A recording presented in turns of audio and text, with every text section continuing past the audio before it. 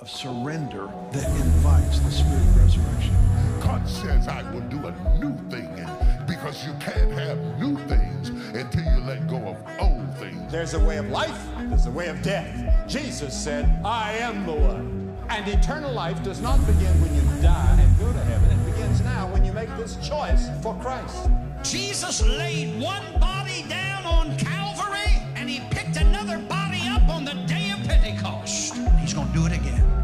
Where are the people? Where are the prayer warriors who will turn the tide? It's time to cry out for a genuine manifestation of the heart of the Lord God Almighty and the authentic spirit of revival. Let the church be the church. Let the people arise. Let them be loud in this season. That if it had not been for the blood of Jesus, I'd be on my way to hell. But because of the blood of Jesus, I am a part of his glorious church. You're about to leave this conference looking dangerous to the devil. God brought me here to tell you get ready, get ready, get ready. You are about to step into a season of more than enough. But God is looking for somebody and says, God, I want to see your hand move on my generation. But I'm here to sound the Lord and stand in the gap for a nation that needs Jesus.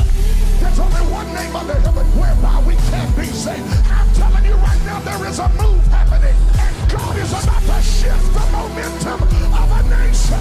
Why? Because there's some things that God won't release until you get a relentless pursuit to anybody in the room that says, I'm coming after God because I need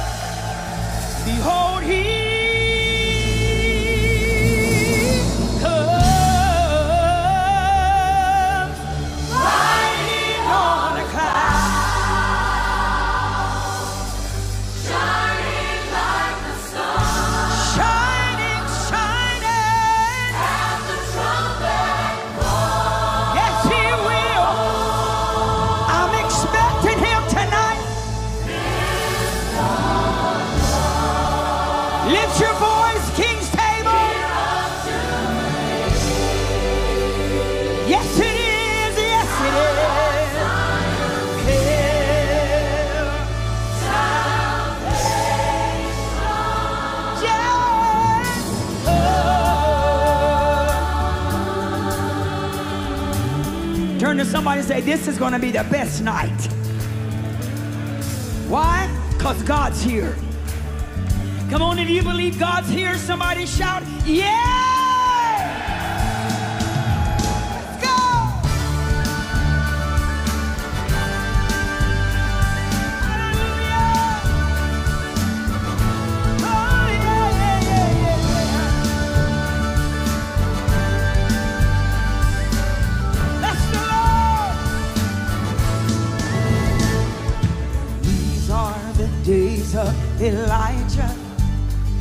Declaring the word of the Lord.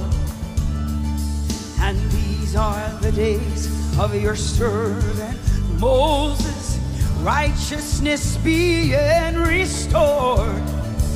And though these are days of great trial, of famine and darkness and sword, still we are the voice in the desert crying, Prepare ye the way of the Lord. Behold, he comes. Hey, riding on the cloud, shining like the sun. At the trumpet call, lift your voice. It's the year of jubilee.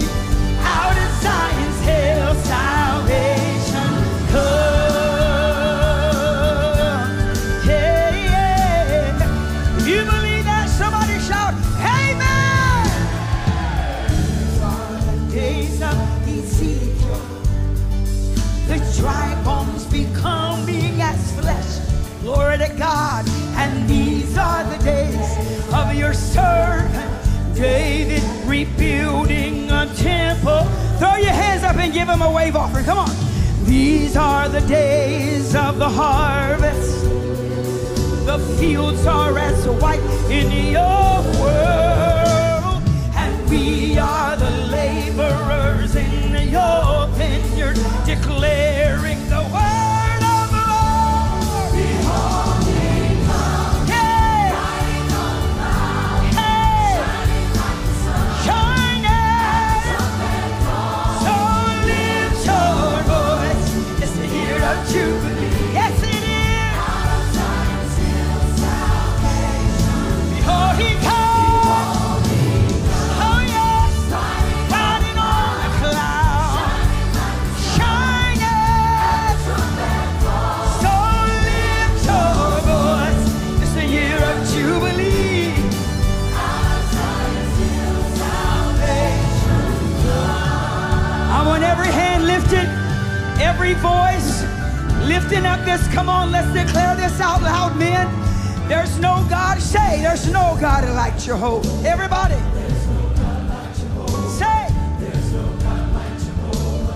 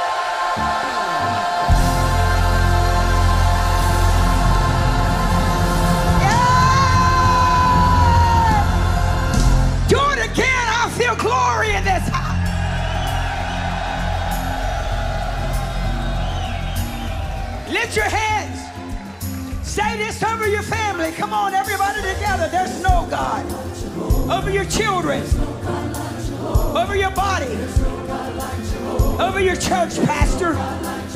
Come on, declare that. Over this nation, the nations of the earth. There's nobody like him. Not Buddha.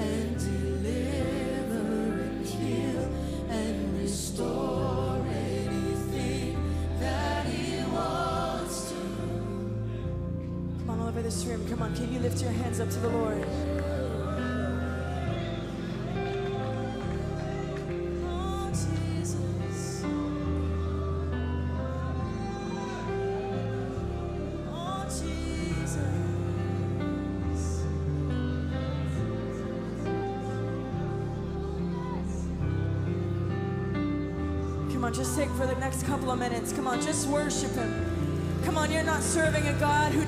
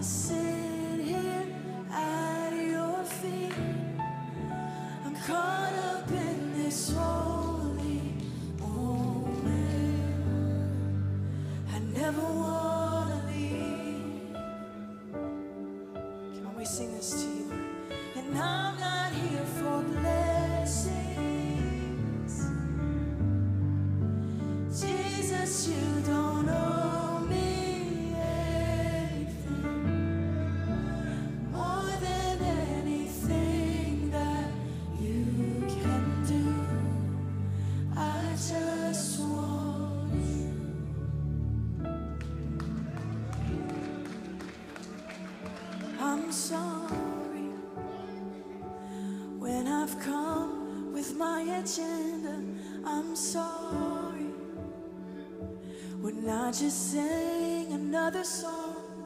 Take me back to where we started. I open up my heart to you.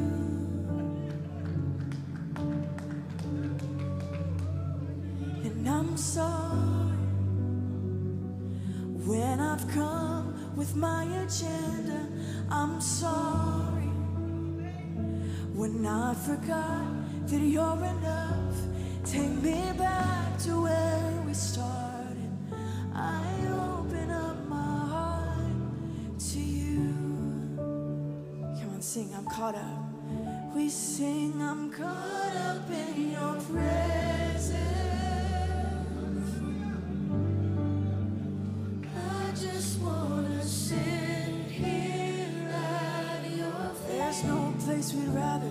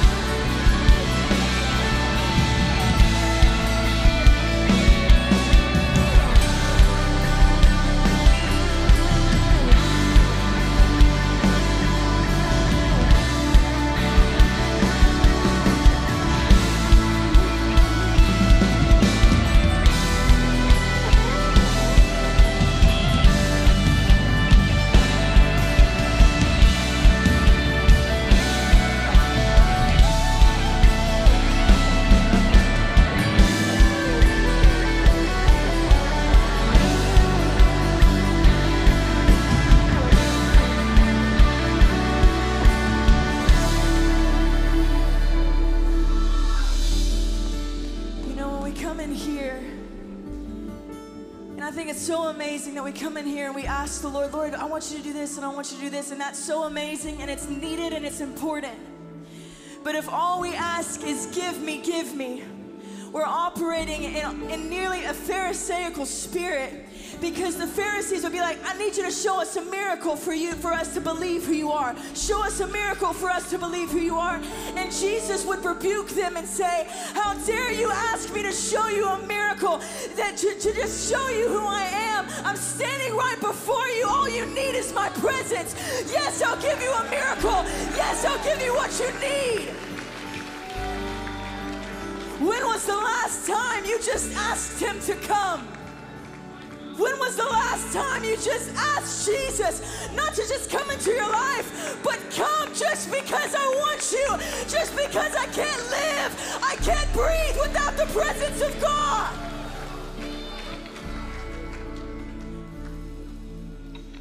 Please don't get me wrong. I'll ask the Lord all day, Lord, I need this and I need this. But I'll end the prayer with, but if that doesn't happen, you're the only one that satisfies. You're the only one that satisfies. If you don't do another thing for me, you're still worthy. If you don't say another thing to me, you said enough. But I'm going to give you praise. I'm going to give you adoration in the middle, in the end, in the beginning, because you're worthy of it.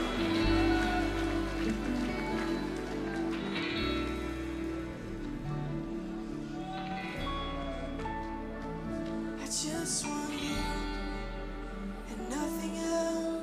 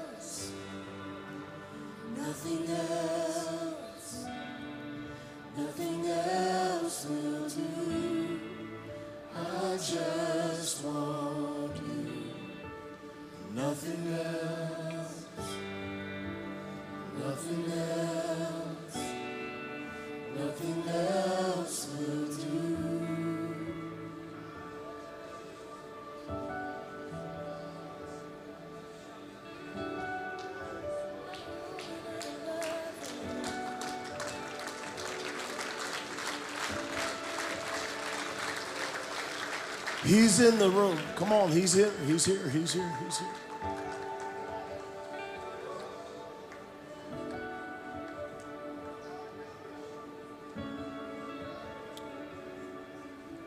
Somebody's being healed in your kidneys right now.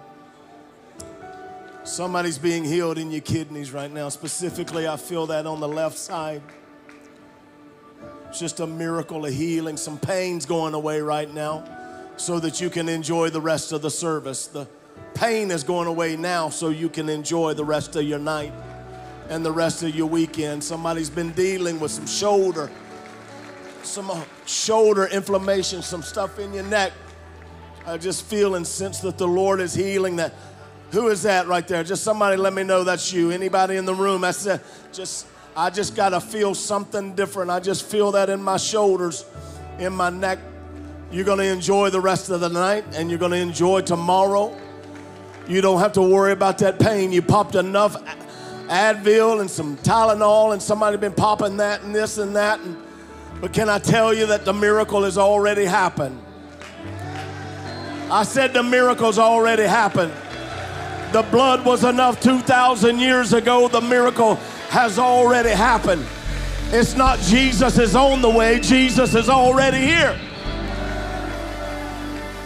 Hallelujah. Now, before we transition, I want you to just give the Lord the greatest hand clap of praise that you've given Him all day. Come on, you've learned how to praise Him.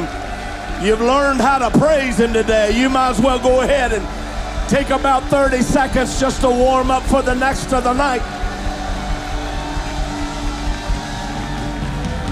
Come on. You understand now that if it had not been for the Lord, if it had not been for the Lord, you'd be in hell, jacked up, smoked up, packed up, but because of the Lord. Somebody holler in this house.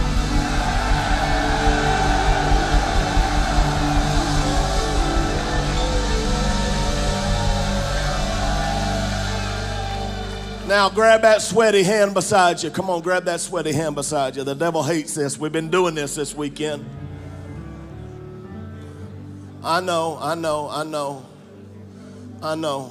But you, if you can't hold the hand of your brother, you're not a brother. Now squeeze that hand real tight. Let him know how important he is to you. And just like last night, if you understand and realize how desperate that hand is you hold, and it depends on your ability to pray for him. I want you to pop the devil upside the head right now with unity. Unity, unity of the brethren. Unity in prayer, unity in roar, unity in agreement, unity, unity. I got you, bro. I got you. I got you, man. I got you. I got you. Come on, pray for him. Pray for him. Pray for him. Pray for him.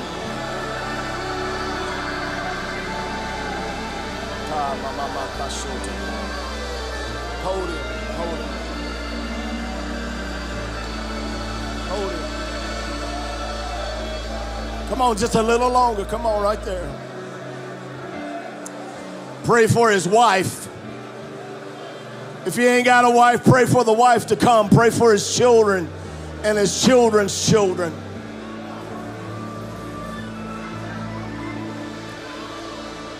Praise God.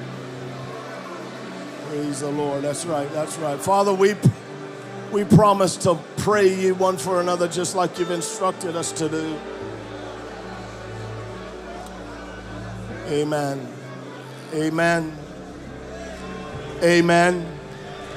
Did you feel that? You feel that right there? You say, well, why we got to feel something?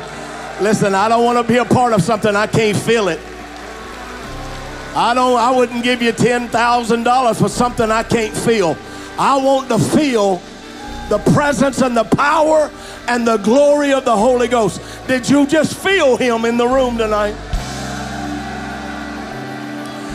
Look at your neighbor and say, Let's go deeper, bro. Let's go deeper. We're going deeper tonight as you find your seats, as you find your seats, as you find your seats. Come on. Hallelujah. Hallelujah. God heal you. God heal your shoulder. Hallelujah, man. Praise the Lord. Praise the Lord. Hallelujah. Wow. Ain't nothing like Friday night. And the world thinks it knows how to celebrate Friday night, but the church and the brothers in the Lord knows how to have church. As you find your seats, just believe here as we transition. Praise God. Praise God. I've had some of the strangest things today.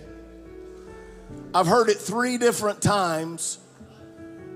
Pastor, I've experienced a financial increase today while I was in church. I know of one who had a $26,000 miracle today.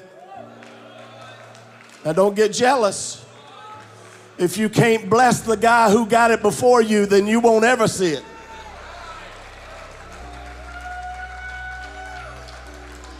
Another one, a young businessman walked up to me a while ago and he said, I just got a $20,000 account for my business. Look at your name and say, I'm next.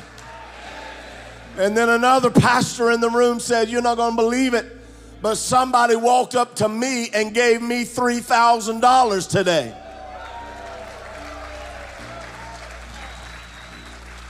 You say, Well, what's that got to do with anything? God cares about your finances. He knows your need. He knows, first of all, He knows your name. And second of all, He knows your need. And third of all, He knows that He is the God who provides all of your needs. Amen. I want to bring to the platform tonight as we prepare for our tithe or prepare for the offering. And you've been so faithful, guys, to give and to support. into the ministry this weekend. First of all, let me recognize this. I understand that you paid a registration to be here, and I honor you for that.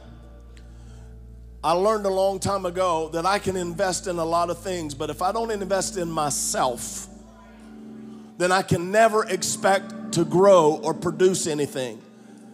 Whatever you paid to be in here, let me tell you, you're invest, you are worth an investment into yourself.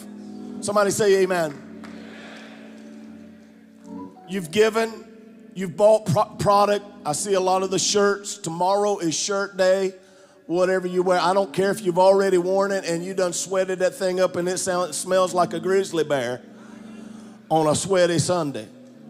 Tomorrow, you're going to want to take a lot of pictures and group pictures and things like that. You say, well, that sounds like a women's conference. Well, listen, she's going to want to see the pictures and she's going to want you to be dressed right. Somebody say amen in this Presbyterian church. Come on. And we love Presbyterians. God bless you. But you've given, you've sown, you've bought product, you'll continue to buy product. Support all of the speakers. And have you loved all of the speakers so far? Amen. Good gracious, what an arsenal. But uh, tonight I want to encourage you to participate, and I want to bring to the platform a very powerful man of God, known all over the world. He's a very well spoken man and a well, very well spoken of man. Dr. Coy Barker, internationally known orator and author, author is the founder of Elevation Point. Dr. Barker, uh, a Hollis, Oklahoma native. Oklahoma's in the house. Do I need to read all of this? I can. Let me just share my heart. I met he and Miss D a hundred years ago in Atlanta, Georgia. They used to host me and Pastor Judy to come and minister to their church. Powerful man of God who is a mentor to men in the ministry.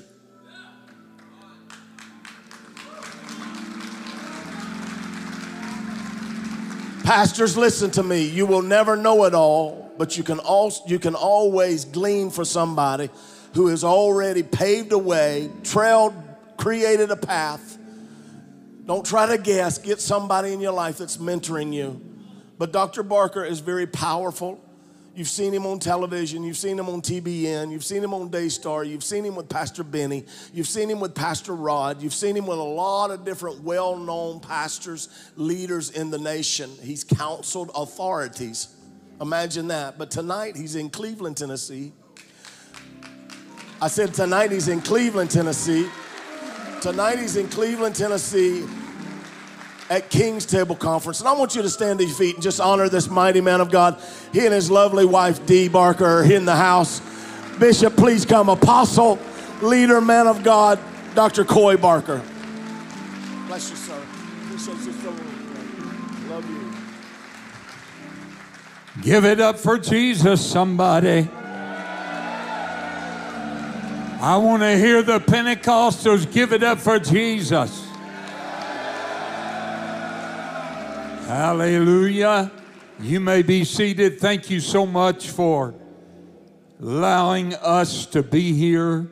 We give such honor to the great leaders of this ministry. God has raised up Apostles Jamie and Judy Tuttle for such an hour as this. And I want you to know we honor you, we love you. Thank you for being our friend, standing with us all these years. Thank you for that covenant of fellowship. Give it up for our leaders. Come on, somebody.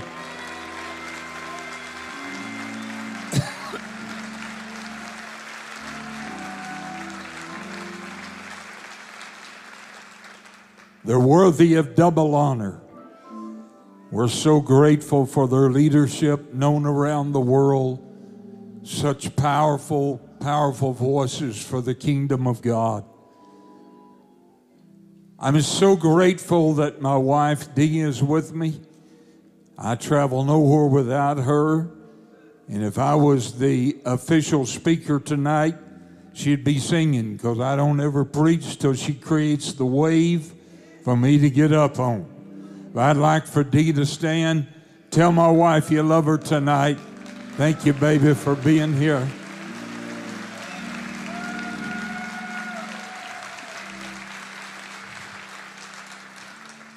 It's always an honor to be with Apostle Tim Raley, one of the greatest voices in the kingdom, building the kingdom of God like no other.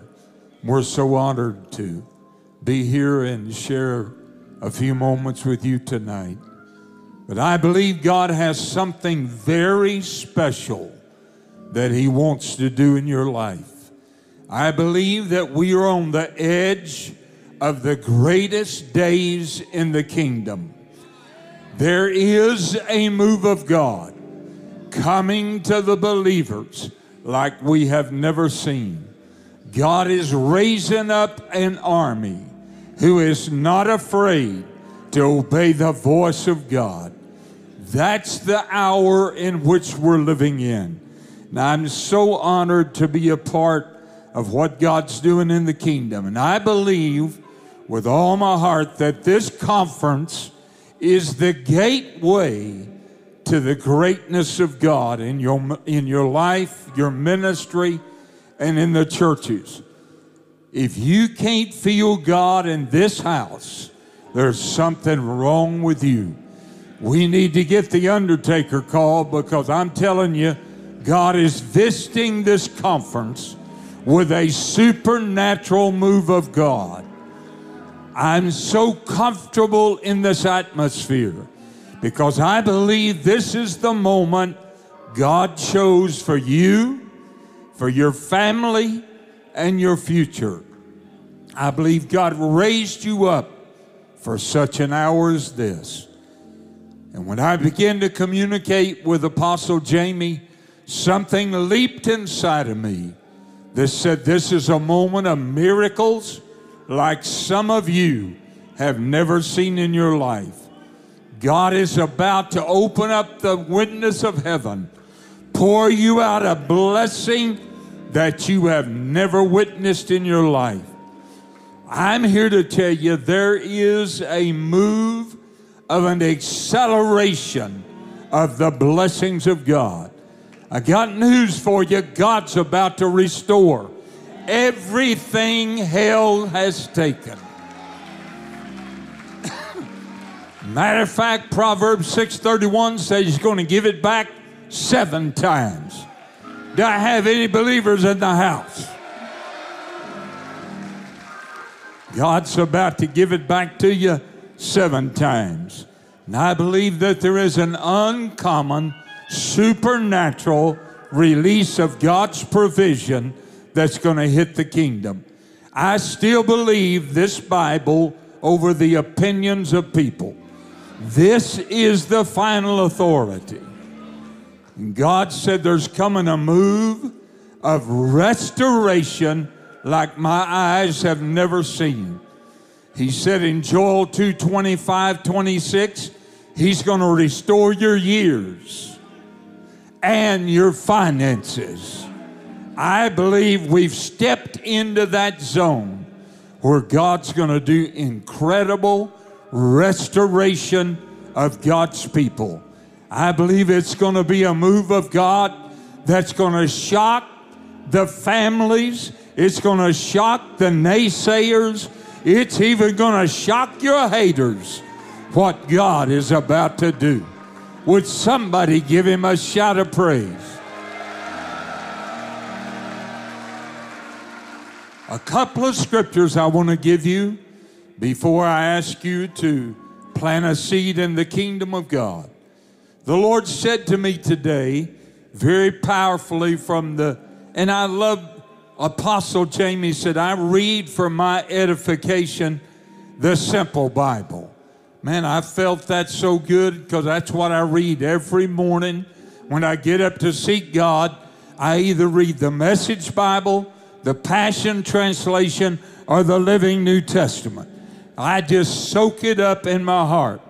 Recently, the Lord took me in the Passion Translation to Psalm 102 13. He said, Now is the time. Somebody say, Now is the time. Say it with authority. Now is the time. The appointed time has come for the prophetic promises to be fulfilled. How many is ready to receive your prophetic promise? Oh, come on. I said, how many? God said, I'm going to fulfill the prophetic promises that I've made to you. First Chronicles 12 32 said it's very valuable that you know the times and the seasons. How many knows it's a very important moment right now? It's a God moment in your life. It's a moment when God is going to do suddenlies in your family, in your life, in your business. God's going to do suddenlies in your life. I remember so many years ago, I was going to West Palm quite often because that's where Dee was living. I walked in one Sunday night to the church that she was part of, and I'd flown in from Atlanta and was there to speak for uh, my friend, Pastor Fred. And I walked in the back of the building, looked up on the platform, and I saw this beautiful blonde up there with the worship team. I went, Oh my Jesus. I leaned over to the pastor and I said, Pastor, uh, is that blonde right there married? He said, No. I said, Well, hot dog. He said, You're here to preach. I said, I'm fixing to preach the paint off the walls. I said, Is she dating anybody that I need to take care of? And he said, Get your mind on Jesus. I said, It is. And I happened to bump into her in the aisle that night, and the rest is history. Praise God. She has been a miracle in my life beyond my words of description. A couple that she was very close to, very, very uh, good friends, owned a little bitty roofing business, had a little pickup truck, and they just started a little roofing business, Ed and Deb. And uh, I got to minister to him that night, the first night that I preached in that church. He hadn't been saved very long. Was the first night he ever heard the message that God said his kingdom people will live by seed time and harvest. Anybody ever heard that? Genesis 8:22 God said we'll live by seed time and harvest. And he grabbed a hold of that. We made covenant in our life. He serves he and Deb on our official board. We've been deep friends for decades now. And it's been amazing to watch what God has done in their life. And their business now is not a little pickup truck. Last year they took in $78 million in the roofing business because they believe in seed time. Can I hear somebody that believes the Bible? Give him a shout. I was on worldwide television. I made a comment about seed time, and I said, you know, there's something about God's economy that I've never figured out. I can't explain it to you, but something happens when you give a thousand dollars to God as a seed of faith. Something takes place. A little Baptist lady happened to be from the little town my church was in, in Loganville, Georgia, was watching that worldwide telecast, and she made a phone call gave the thousand dollars, said to the little person, I don't understand one thing about what that preacher said, but something touched my heart when he pointed that long finger in that TV camera and said, You're the one. She said, I'm a senior adult. I have a bill that's tens of thousands of dollars. I cannot pay it from the hospital, and I need a miracle so I'm making a sacrifice for the kingdom of God. I caught a plane, come back to Loganville. The phone rang. About four days later, the little little senior adult was on the phone. My son had answered the phone, And uh, Dustin said she was crying and excited and said, I don't know how to say this because I'm a little Baptist, but I'm feeling God all over this phone call right now.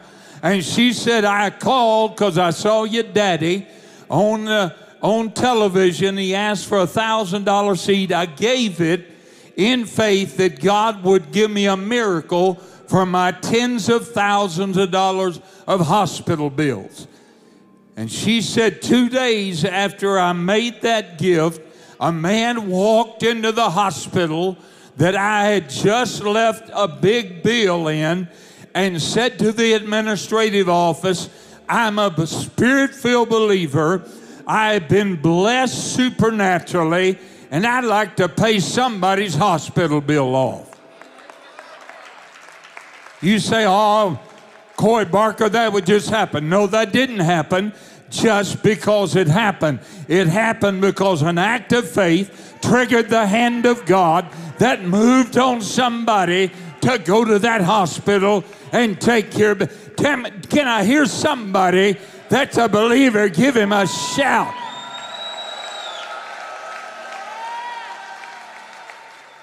And she said, they said, well, a little senior adult had to check out of here, left a, a, a real big hospital bill, and uh, we just told her to pay whatever she could every month $5, $10, whatever she could. And he said, Well, guess what? I'm taking out my checkbook. Tell me how much it is. He never blinked. He wrote a check for it. And then they sent her a letter that got to her, and that's why she called our church. And she said, I opened up that letter with fear because I figured it was a, a warning. I had to get that bill paid. And they said, and called her by name and said, Just got to tell you, God sent an angel into the hospital and just paid your bill in full. It is done. Somebody give him a shout that needs God to break the back of debt off of your life.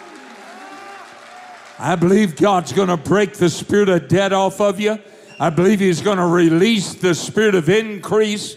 And I believe He's going to bring miracles financially, physically, emotionally, and to your house. So, can somebody say, I'm ready for a miracle? A couple of more stories and I'll get out of your way. I never will forget when the revelation of God came to me and Dee. She walked down the, the stairs from her office down to the basement to my office, and she was almost white. And I said, Babe, what's wrong with you?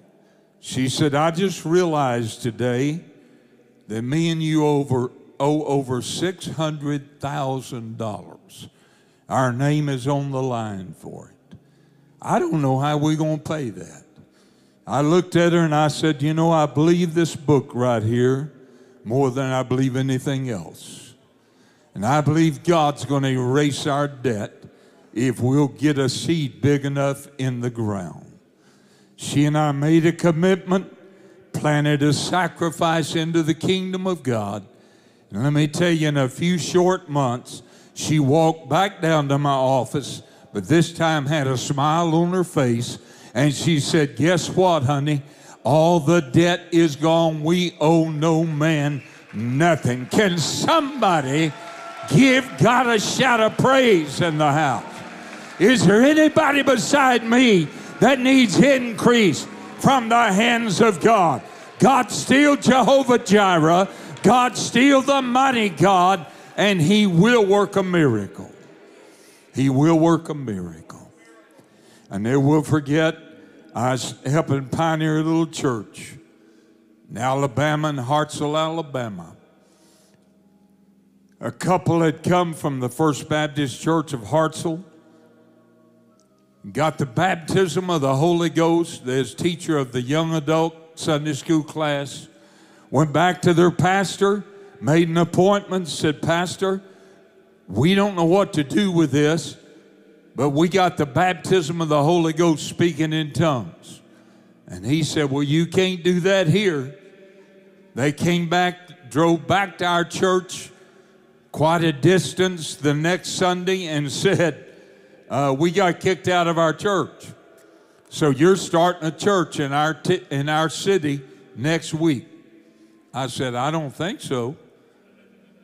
They said, Oh, yes, you are, because we had to have a church for our family and our friends. I said, Okay, I tell you what, you get a little storefront, I'll show up. Showed up that uh, Monday night, and when I showed up, there wasn't but about 25, 30 people. We had a good service. Something come on me. I don't know what it was. I'm Indian. It might have been Indian. I don't know. Something came on me, and I said, Tomorrow night, bring all the sick people that you can bring because God's going to build this church supernaturally on signs, wonders, and miracles. So the next night, they didn't know it, you know, they were unlearned. They didn't know you're supposed to save a parking place for the pastor.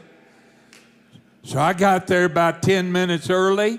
There wasn't a place anywhere downtown for me to park. And in front of the little storefront was an ambulance. Because I'd said if you have to bring them in an ambulance, tell them it's a one way ticket. You won't need two ways. And so I drove around looking for a spot, saw that ambulance sitting there, and I thought, oh, Jesus, um, please help me. I hope that was God. I said that last night.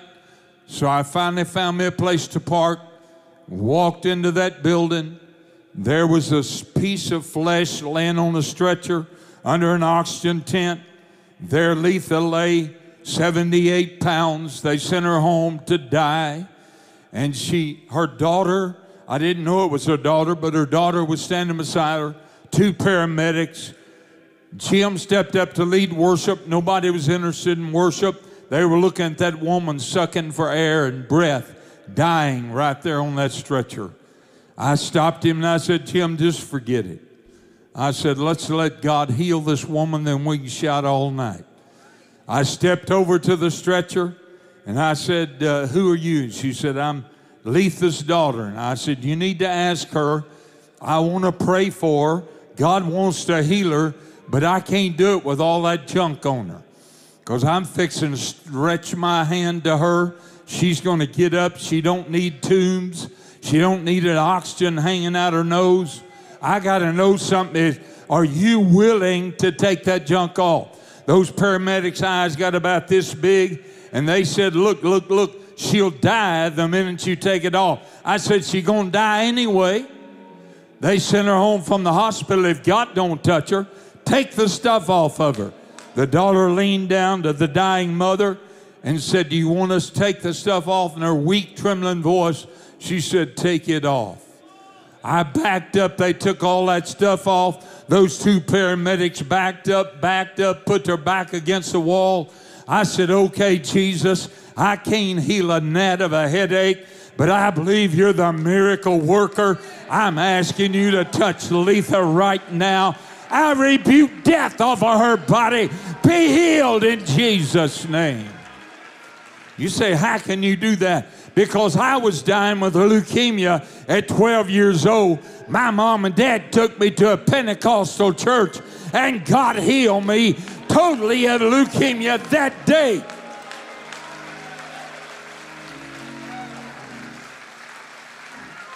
I'm not talking about I read a book to read a book. I believe this book. I believe everything it says. I believe somebody has got your foot on the edge of a miracle. It's time for you to say, I'm ready for my miracle. So I reached and got a hold of Letha. I said, Letha, get up in Jesus' name. Her face was ashen, the stench of death, gasping for air. She tried to get up and fell back on the stretcher. I said, Oh, no, no, no. You getting up and you walking on your own. I grabbed her again. I got reckless in my faith. I picked her up myself, stood her on her feet, and said, In Jesus' name, walk, live. And something came over her. Her face went pink and the power of God touched her, and she circled that building as God healed her.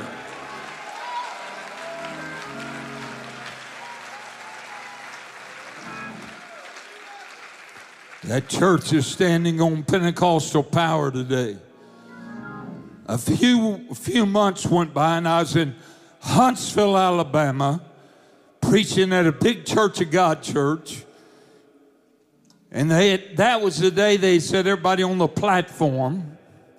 And so I was sitting up there, and the pastor had fellowship time, and the, some way the ushers were asleep at the wheel. And so here come this big woman down the aisle. I'm sitting up there, I'm going, she's fixing to get me. She had that look in her eye. She came right up on the platform. Nobody tried to stop her. She grabbed me, picked me up, whirled me around about three times. I said, Ma'am, set me down. She said, You must not know who I am. I said, No, I, I don't believe I've ever seen you. She said, Oh, yeah. My name is Letha, and God healed me and raised me from the dead. Somebody got to hear me. It's your miracle time. Give him a shout in this house.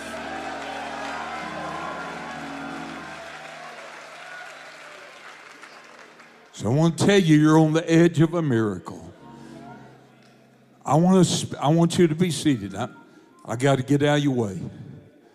Listen to me carefully. There's something supernatural about this offering. You can ask my wife, I have struggled over it, I have prayed over it, I have wept over this offering. Something's about to happen for somebody like you've never seen happen in your life. God is about to do things for you that you've never dreamed possible. But you've got to be willing to give God your best gift. I don't know what that is, but I want you to give your best gift.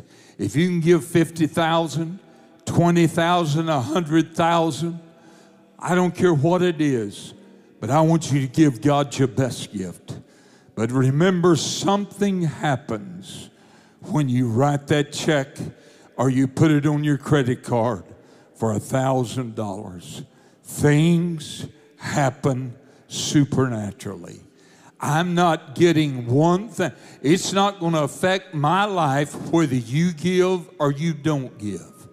I'm simply on an assignment from God to help somebody in this room step into a whole new level of miracles in your life, miracles in your family.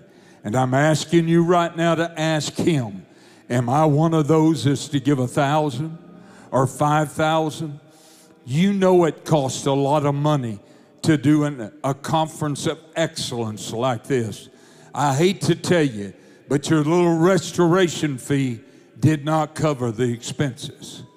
It cost a lot of money. But how many knows the 40 people that got saved last night is worth everything that come on somebody. God gave DNI scripture. I'll give it to you and I'm through. I want you to get your envelopes, get your phones. I want you to text to give. I want you to give, and I want you to give sacrificially. I want you to give in this last night because you love God, because you believe in this ministry, because you know it's changing the lives of men everywhere around the world. I want you to make a deposit tonight because I believe that when you turn loose of that seed, God's going to release the miracles that you need from God. Some of you, before you get home, God will have performed a miracle. Somebody sitting on the edge of the greatest miracle you've ever received. Don't miss the moment with God. Disobedience blocks the hand of God. Listen to me. God's heart is moved by your feeling, but his hands are moved by the seeds you put in the kingdom. I need God's hands working for me. I need God's miracles in my life every day. So I want you to obey the Holy Ghost. Listen to the scripture out of Amos 9:13 because God said this is a Amos 9:13 message Bible season. When God gave this to D and I, miracles begin to pop in our life. I, I don't even have time to tell you all the miracles. Listen what it says. Yes, indeed. It won't be long now. Look at me. Ezekiel 12 28 said, Delay is over. How many's ready for the delay to end in your life for your miracles? Delay is over. Listen what he said. Yes, indeed, it won't be very long now. This is God's decree. This is not what Coy said. This is God's decree. Listen what it says. Things are going to happen so fast that your head will swim. You won't be able to keep up with it. Suddenly, one thing fast on the heels of another, you'll not be able to keep up with it. Everything is going to happen at once, and everywhere you look, blessings. Somebody say blessings. Do y'all believe the Bible? Wave your hand. You believe the Bible? That's God's Bible. That's not me. In the last days, the King James said the sower and the reaper will be in the field at the same time. Somebody say acceleration. Say it with authority. Acceleration is coming to me. I want to pray for you. Then I want you to give like you've never given. Give God your best. Father, I speak a supernatural begin to happen in the lives of these people. Break the chains of debt off of their life. Cause them, Lord, to experience an anointing of increase. That you'll favor them, that you'll turn it around for them, that you'll do miracles in their family, that they'll see physical miracles, financial miracles, spiritual miracles that begin to happen in their household. I decree it so, and I thank you, Lord. It shall be in Jesus' name. And everybody shouted, Amen. I love you. Ushers, pass the buckets. Let's give our best gifts to God. I love you very much. Thank you for letting us shout and be in church with you. God bless you very much. teaches us in his book called The Knowledge of the Holy that the most important thing a Christian can do is to think rightly about God. God, in Genesis 1 and 1, God in Hebrew means Elohim, which is a reference to God's power and might. And Malachi 1 and 6, Lord in Hebrew is Adonai, which is a reference to the lordship of God. In Exodus 15 and 26, he's Jehovah Rapha, which means he's our healer. In Genesis 22, 13 through 14, he's Jehovah Jireh, which means he's the Lord our provider. In Judges 6 and 24, he's Jehovah Shalom, which means he's the Lord our peace. In the beginning was the Word, and the Word was with God. The same was in the beginning with God. All things were made by Him, and without Him wasn't anything made.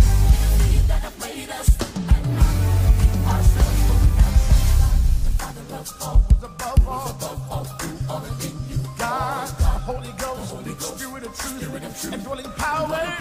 God, Son, Son, Jesus, Jesus, the say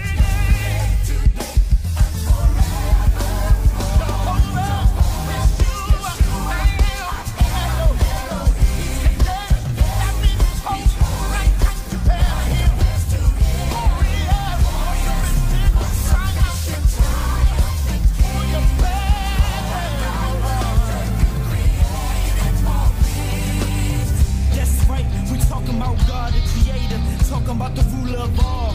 The I am who created man. He the rock, he the lion, and he the lamb. Almighty leaves Satan deceased. He is the most high, Satan the least. He defeated him, he victorious. My God, too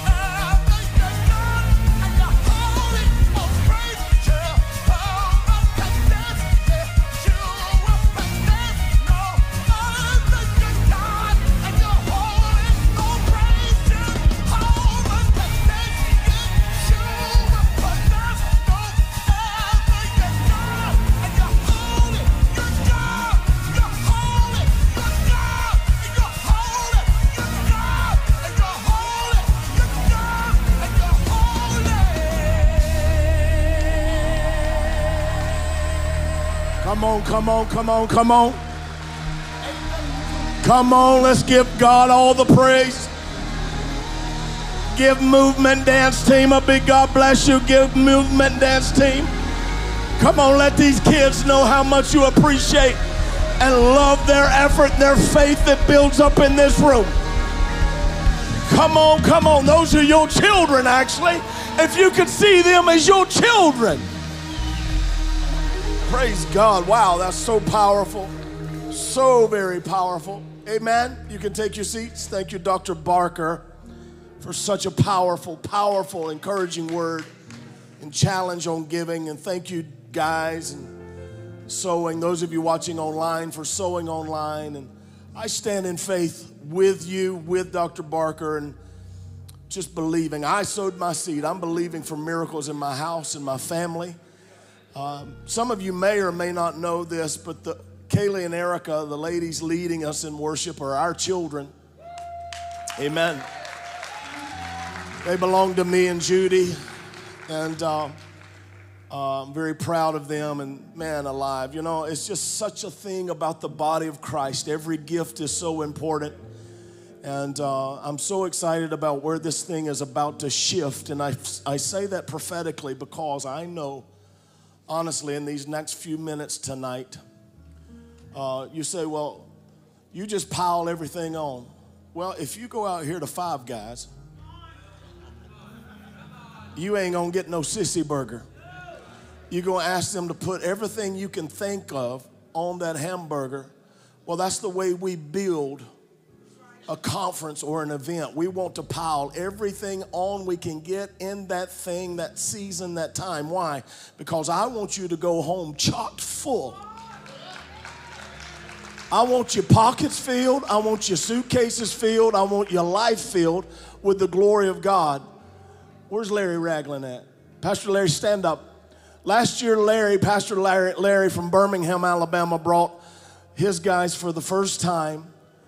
His church has been in revival since last year. It's so this event so impacted those men that that church has been in revival since last year. I'm telling you, you're going home on fire. And so I want to get Bishop up here very quickly, and I know that um, uh, it's not late. Listen, some of you, when you were in the Lord, you didn't even crack open your first bottle of liquor till, I don't know, probably another 30 minutes from now, and then you drank all night, and then you laid there all day. We're getting started, it's going to be really powerful. In the morning, somebody say in the morning. When? in the morning at 8:45 I want to meet with many of you as many of you who will I'm I'm cooking breakfast if you'll come and let's talk about uh, mentoring let's talk about company 22 which is uh, really my outreach uh, ministry to the nations of the earth. And I'm just asking for men who would come alongside of me to partner moving ahead. And it's not just about in terms of it's more of a relationship doing guy retreats doing hangouts doing some stuff together mentoring and growing in the lord and so in the morning at 8.45 i'm going to meet with you we're going to have breakfast together in the auditorium next to us which is just adjacent from the cafe many of you have eaten at but in the morning um, i think we're having um, i think we're having uh, red eye gravy and um, biscuits and something else. I don't know. But anyway, it won't be Panera bread. I can tell you that. Ain't no grease over at Panera. That's a girl place. Sorry, Panera. Sorry, sorry. Send an offering, would you? You can afford to send an offering, Panera. Amen. Who's ready for the rich word tonight? Come on, who's ready for the rich word? How many of you were here last year with, with Apostle Jim Raley? I, I call him the supernatural tornado from, uh, or hurricane actually, from Florida.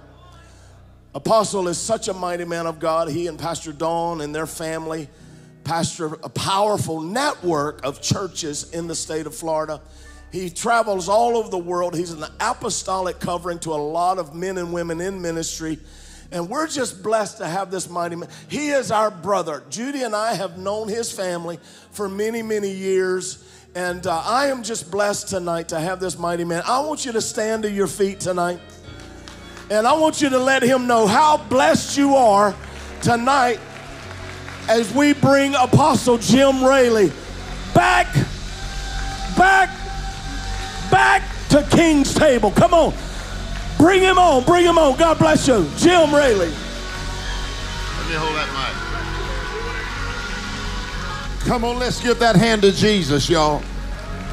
Now listen, you were clapping that good for me, but now you're clapping for a king. I said, now you're clapping for a king. Hallelujah. I said, hallelujah. Huh. You know what the Bible said to do? The Bible said to ascribe to the Lord the glory that is due his name. That means ever how good God has been to you.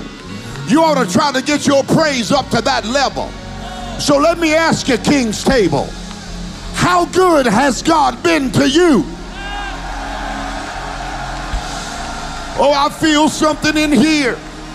I feel that head rocking, cancer rebuking, child saving, real deal, family restoring, world put back together, anointing in this place. God's about to do something in here. Who's ready for a shift? I said, Who came and you're ready for a shift? Open up your mouth and shout like you believe He can do it. Hallelujah. I said, Hallelujah. I said, Hallelujah. I dare, I'm about to preach, but I feel like praising Him. I dare you to take your neighbor by the hand and shake them up. Just make sure they're awake. Say, neighbor, say, this whole row is breaking through. I don't know about the row behind me. I can't tell you about the row in front of me. But this row right here is stepping into a new season. This row right here is stepping into a miracle. This row right here is shifting. Y'all, I feel something already unlocking. I said, I feel something already unlocking.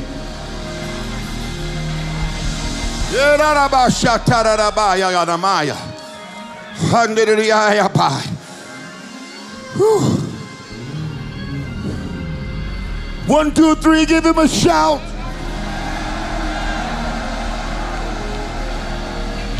Hallelujah. My, my, my, my, my. Ah. Lord, have mercy. Lord, have mercy. Lord, have mercy. I better calm down.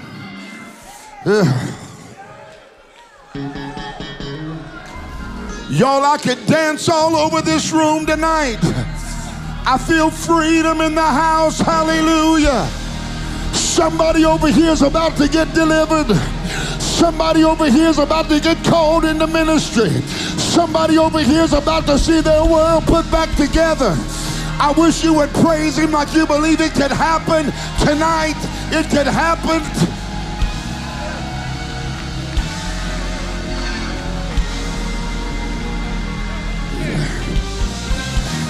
Y'all, I'm trying.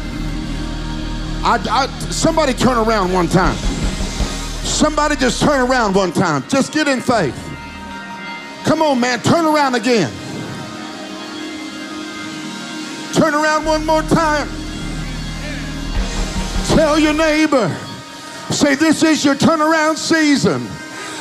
Tonight is your turnaround. Your family's gonna turn around. Your children are gonna turn around. Your money's gonna turn around. This is a turnaround service. This is a turnaround moment. Oh, Lordy.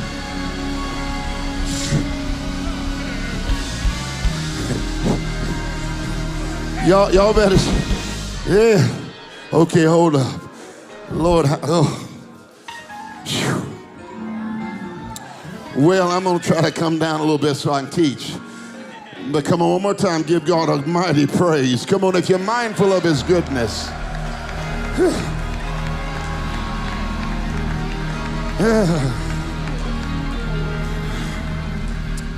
Remain standing for the reading of God's word. I heard that Bishop Kevin Wallace brought it last night.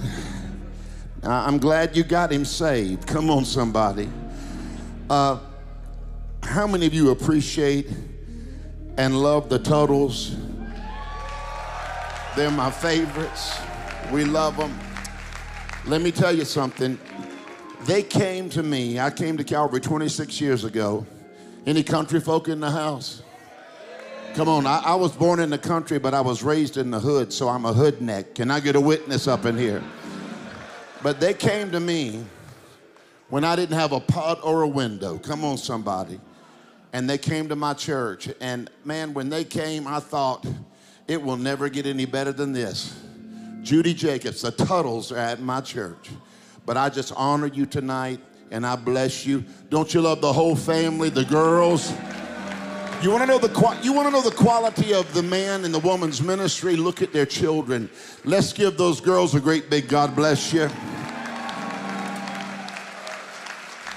Pastor Myles Rutherford, I love you so much. Give Pastor Myles a God bless you. Thank you, Pastor Coy.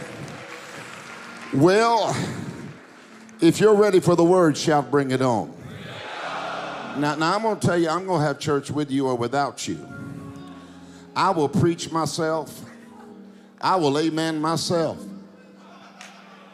I will give my own altar call. I will come forward myself. I will lay hands on myself. I will catch myself. And then I will cover my own legs up. Come on, somebody.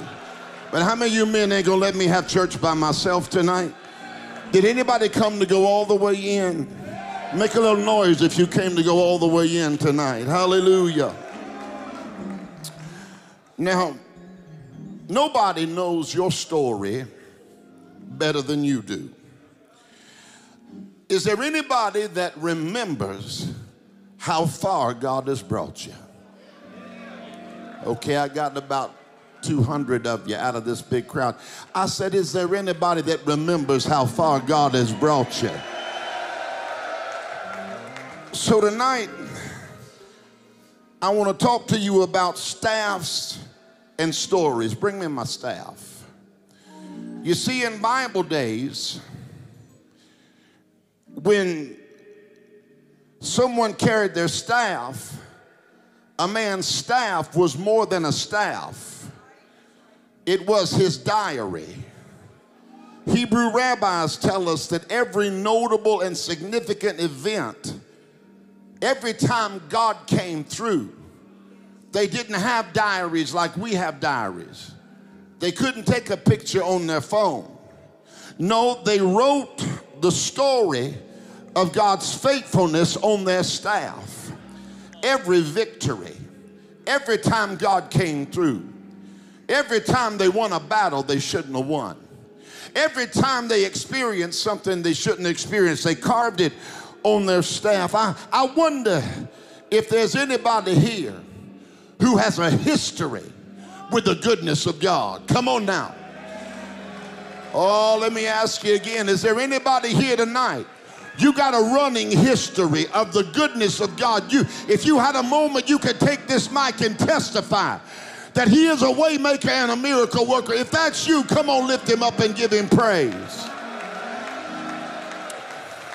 So, I want to take our text tonight from Hebrews 11 21.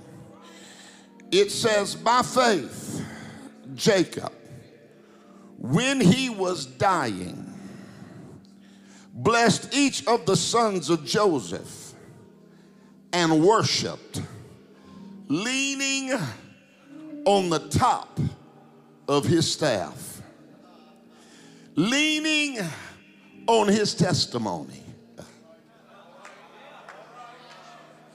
When he leaned on his testimony, eh, the Bible said he worshiped the Lord. Some of y'all that lost your worship, that ain't got a shout, you ought to just lean on your testimony. And remember how many times he made a way right out of no way for you. And I guarantee you, you'll find your praise. So I want to teach and preach. You know what teaching is? Teaching is telling it, and preaching is yelling it. Come on. So I'm going to do a little bit of both tonight. But I want to preach along these lines the His story behind my story. I'll say that again. Bring it on. Bring it on. When we bring it on the screen, it's the His story behind my story. Look at your neighbor. Look them right in the eye. If they will look you in the eye, then look them upside the head. But say, hey, neighbor, I can't tell you my story without his story. I have no story apart from his story. He made all the difference in my life. If Jesus changed everything about you, open up your mouth and give him praise right now. Come on, open up your mouth and give him a praise right now. So, so slip up your hands if you want to get in this same oil I'm about to preach in. Father, we love you tonight. We bless you tonight. We thank you tonight. We adore you and exalt you. Have your way in Jesus' name. Now, somebody give the Lord the ovation of praise. Come on, let's do it. Come on, is that the best you got? Go ahead and bring him the best you got right now. Before you sit down, push two or three men and tell them, say, I'm ready, I'm ready, I'm ready, I'm ready. Listen, my brothers, I cannot adequately relate to you my story without including Jesus in it. His story is all wrapped up in my story. There ain't no story for Jim Raley without Jesus. Now, as I said, staffs were very important to the Hebrews. Each and every young man received a staff at a young age, and he was presented with his staff. And of course, there were many practical uses for this staff. The staff made sense because it related to shepherding and overall life and vocation. But there was another function that the staff was used for. It was used to record everything that they had endured. It was used to record everything that they had survived. They would carve in to that staff everything they overcame, every battle they ever won, every time God ever came through. It was a running commentary of how good God had been to them. It was a running commentary of how often he was faithful and how many times he made a way right out of no way. They would carve their own story into their staffs. And when times got tough, and when attacks got intense, and when situations got rough, they would pull out that staff and they would look at their own story and they would re- be remembering that God was faithful. They would rehearse every time that God had come through for them. And I want to tell you tonight, young man, when you remember the goodness of God through past hardships, you can lean on past memories and find victory for present battles. It lets you know that if God did it then, He can do it again. It lets you know that if He saved one child, He can save the other one. It lets you know that if He delivered you before, He can deliver you again. And maybe you came into this place tonight, I feel like preaching. You've been fighting a big battle, you've been battling for your family, you've been battling for your future, you've been battling for your faith, you've been battling for your finances, you've been battling for a son, you've been battling for a daughter, you've been battling for freedom. I've come to tell you, you need to do what the old man did in the Bible, he leaned on his staff and he remembered the waymaker and the miracle worker. And some of y'all are here and you feel like quitting and you feel like giving up and you feel like your children will never be saved and you feel like your season will never shift. But Jim Raley is here on assignment to tell you it ain't time to quit, it's time to lean in. It's time to remember how many times God brought you through. How many times God made a way. Remember how many times God provided. Remember how many times God healed you. Remember how many times God delivered you. Remember how many times God opened a door that you couldn't open and He did something that you could not do. And there are people around you, they think you're too radical. They wish they wouldn't have sat by you. They said, My God, now tomorrow morning I'm not going to sit on this row because this dude has shouted all night. He has stood up all night. But let me tell you, his shout ain't got nothing to do with you. His clap ain't got nothing to do with you. If God had done for you what he did for him, you might be on your feet giving God praise yourself. Ah. And the reality is, some of the people that are praising the Lord the most radically are in the most intense season that they've ever been in. But they can't help but remember how good God has been. So I'm going to ask you to praise the Lord real quick at the inception of this message. I want you to praise God in three dimensions. Number one, I want you to praise God for what He's already done. So, right now, I dare you to praise God for what He's already done in your life.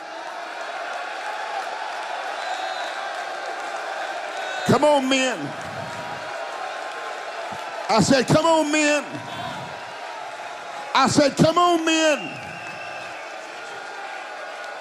Tell your neighbor, say, Hey, neighbor, this praise right here is the praise that I'm bringing him for what he's already done.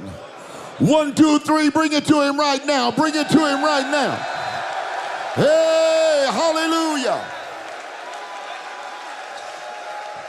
All right. Number two, I want you to bring him a praise for what he's doing right now. I hear the Lord say, Tell him I'm moving behind the scenes. I hear the Lord say, Tell them I'm moving in ways they can't even see. I'm shifting what they can't shift. I'm touching what they can't touch. I'm changing what they can't change.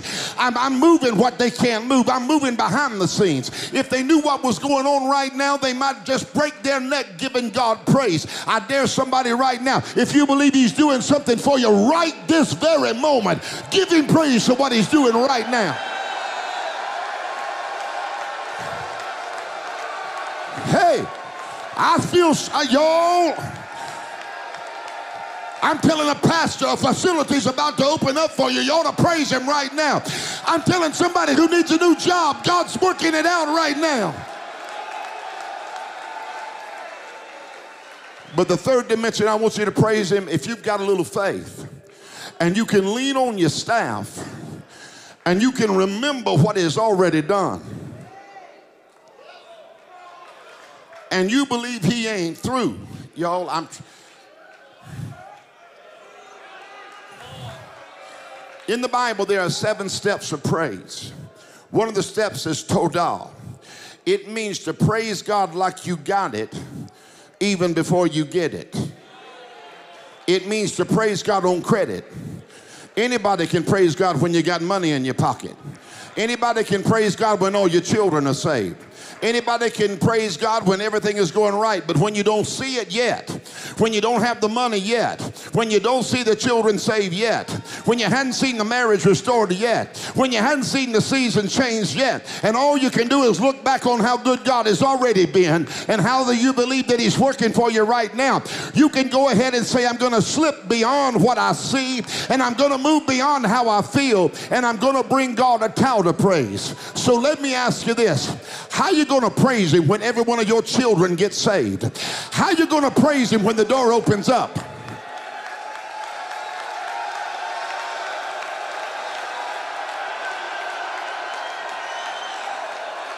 Let me see my phone. How would you praise him? How would you praise him? Anybody got any lost family members? Make a little noise if you do. How would you praise him?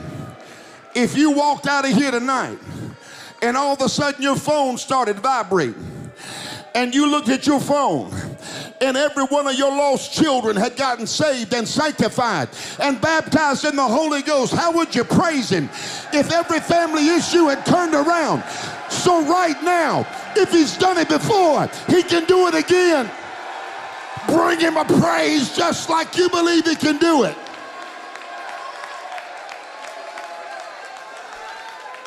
Hallelujah. So be seated. Because I want to tell you anything God ever did, He can do it again. And anything He did for somebody else, He can do it for you. So, what happened in Bible days was someone's staff made them remember their story. If you're taking notes, I want you to write this down. A staff signified power. I, this, this message came out of my own personal devotions. And I was reading of the story of Moses. Now remember, God appeared to Moses in the burning bush in Exodus 3.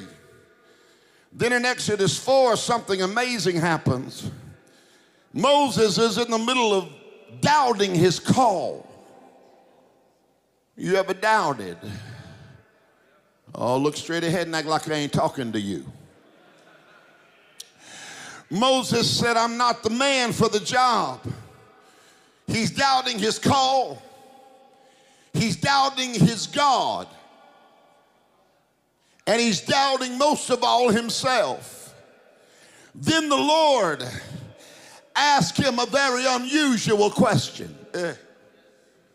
He said to him in the second verse, What do you have in your hand? He said, I have a rod, I have a staff.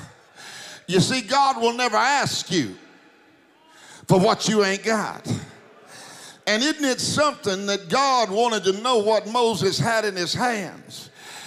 He said, I've got my staff. It was like he was telling Moses, You're carrying your own testimony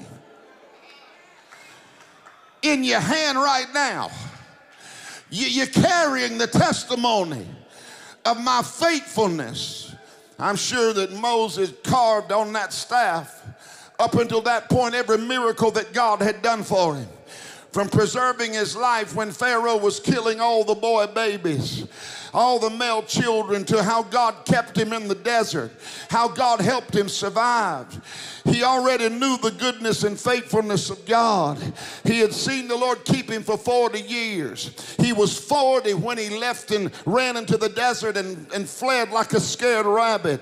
And for 40 years, God had been faithful. And he knew the faithfulness of God. Let me ask you, is there anybody here tonight that knows the faithfulness of God? Come on. He knew the faithfulness of God. Moses' staff at that point, it would have had his testimony carved all over it. And he may have thought, this is great now. I, I came in the desert when I'm 40, but now I'm 80. Certainly this is it. But he stands in front of a burning bush and the Lord meets with him.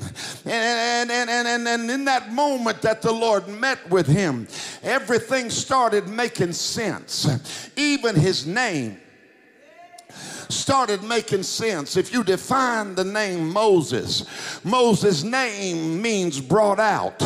And the Lord is in the burning bush and says to, to Moses, It's time for you to go bring my people out.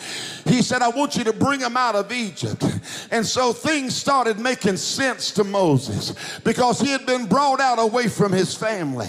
He had been brought out of the Nile River and raised in Pharaoh's house. He had been brought out of Egypt and in the desert. Everything about his story started making sense. Even his name now means brought out. And I want to tell you, I wonder if there's anybody here that's been brought out of something. I wonder if there's anybody here that could testify and say, Jim Raley, I ain't always come to man revival. I ain't always been a, a man that's saved and filled with the Holy Ghost. Is there anybody that's come out of anything? If you came out of anything, give God a praise right now. Here he is now at 80 years old, and his name means brought out. And the Lord is telling you, telling him, now listen, you've been brought out, and your name means brought out. I brought you out of the Nile River. I brought you out when you should have died. I brought you out of Pharaoh's house. I brought you out so I could bring you in. Now I got a job for you to do. And Moses realized in that moment he had been brought out to bring somebody else out. I dare you to look at your neighbor and say, neighbor, when you come out, if he brought you out, don't come out by yourself. If you've been brought out, bring your children with you. If you've been brought out, bring your family with you. If you've been brought out, bring your church with you. God, I wish I could find somebody to preach to. If you've been brought out, bring your city with you. If you've been brought out, bring your brother with you. If you've been brought out, don't come out by yourself. But if you've been brought out, bring somebody with you. If you're going to bring somebody with you, open up your mouth and give God a praise.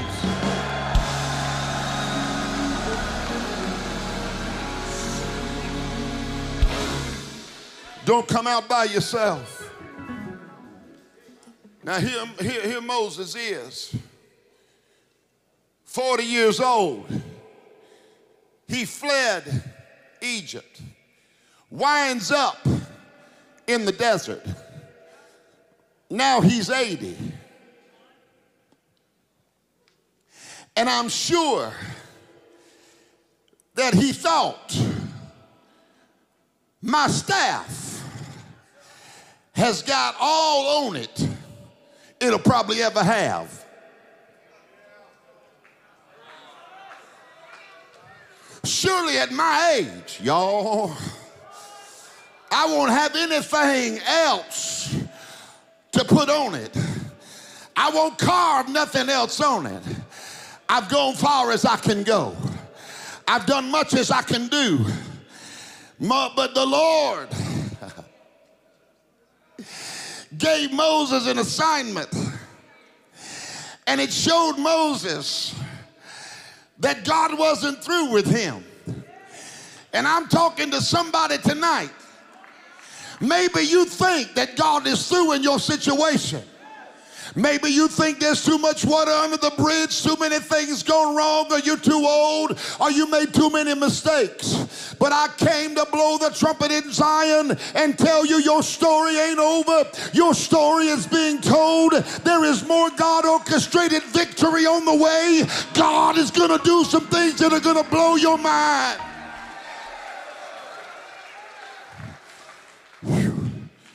Give God a praise if you believe there's more to your story right now. Let me ask y'all over here is there more to anybody's story over here? Is there more to anybody's story in the middle? Is there more to it? Yay, yay, yay, yay.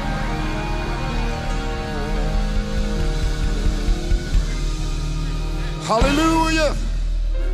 Hallelujah. So, so, the Lord told Moses, He said, throw that rod down. Moses was obedient to God and he threw it down and he picked it up and something had shifted because he was obedient to do what the Lord said to do.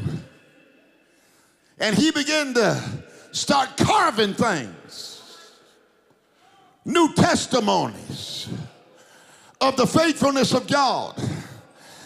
I'm sure he carved in there. Today, this staff became a snake. Where y'all at? I threw it down and I picked it up and I felt power like I'd never felt before. And then he said, I went to Egypt, told Israel, told, told Pharaoh to let Israel go. Then there were snakes and frogs. Y'all ain't saying nothing. And a river of blood and the death of the firstborn. I saw God move for me. Protect me. Oh, God. 80 years old, still having breakthroughs, y'all. 80 years old, still seeing miracles. 80 years old, he's carving it. We, we got delivered. We got set free from Egypt. And when we walk out, when we walked out, we walked out with a bounty. When we walked out, we walked out wealthy. When we walked out, we walked out with more than enough. Hey, Jesus. So, so I want you to understand what's going on. His staff is full of his story. And they're fleeing. And they're in the desert. And they make their way. Yeah. Y'all, y'all don't start nothing, won't be nothing. You better be careful. They make their way to the, de- to the Red Sea. And he gets to the Red Sea. And he's got the Red Sea in front of him.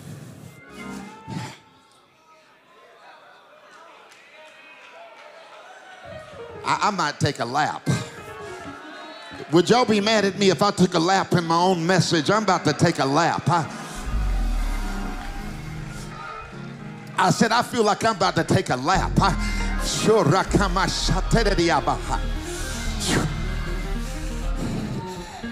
so he's in trouble. And he knows God's been good. And he's got an obstacle that he can't handle in front of him and an army that he can't defeat behind him and his staff in his hand. So, what did he do? He stepped out in front of the sea and stretched out his staff. And when he stretched out his staff, he wasn't looking at the Red Sea. He wasn't looking at the army behind him. He was looking at his story. He was looking at what God had already done. And he said, God, you didn't bring me this far to leave me. God, you didn't deliver me to leave me. God, you didn't bring me out to leave me. Some of y'all right now, you're fighting hell. Some of y'all right now, you got an obstacle in front of you and you got an army behind you. But stretch out your rod and begin to thank God that if He made a way before, He'll make a way again. One, two, three, give the Lord a praise.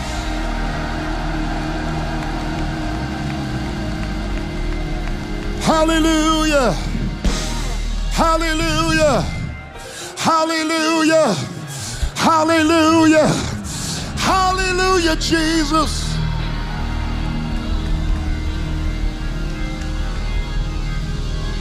Watch this. Y- y- y'all, y'all sit down and have another glass of tea. Come on. So what does a what did a staff do? A staff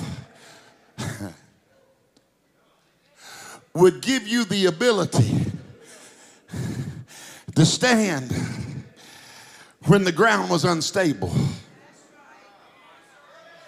When the way got hard, when the situations on the ground got rough, they'd pull up their staff and they'd lean on their staff and they could climb that mountain and they could traverse that problem. Is there anybody here? Then maybe you got some problems right now, or maybe you've had some problems, but you've leaned on your testimony.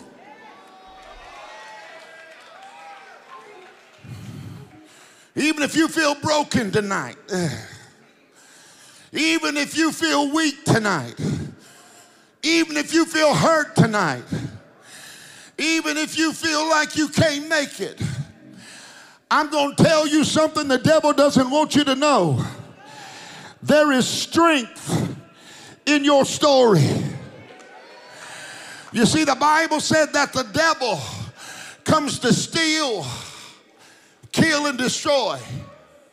But one thing he can't steal. Y'all, I said one thing he can't steal. Make a pronouncement to everybody in your neighborhood. Tell him he can't steal my story.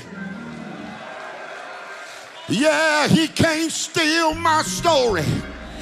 He might mess with my money sometimes, but he can't steal my story. He might try to rob me of my joy, but he can't steal my story. He might try to pull me away from my purpose, but he can't steal my story. I've seen God come through too many times. I've seen God make a way too many times. Somebody give him praise if you're glad that the devil can't steal your story.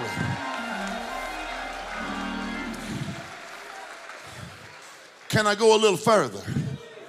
If you want a little more, say, bring it on. Now, watch this. In 1 Samuel 17,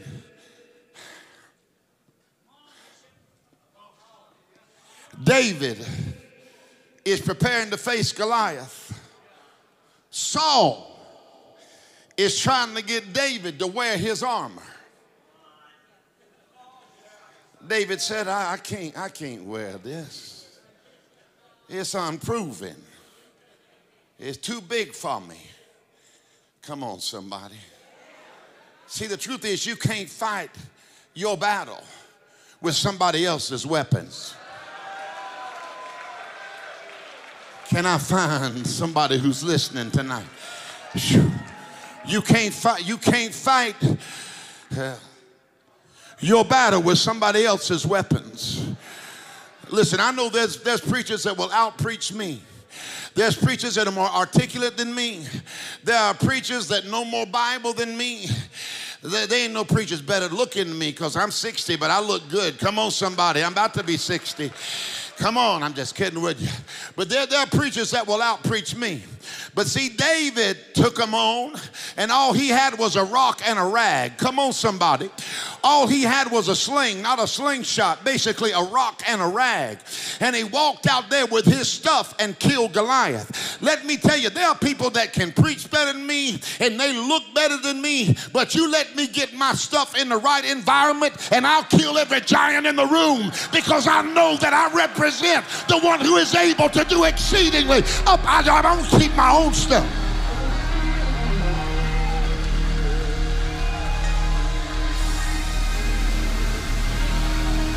Some people say, Raley, why you still shouting?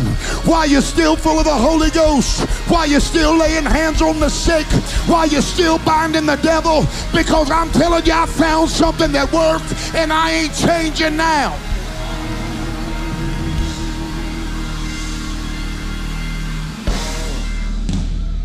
Come on, somebody.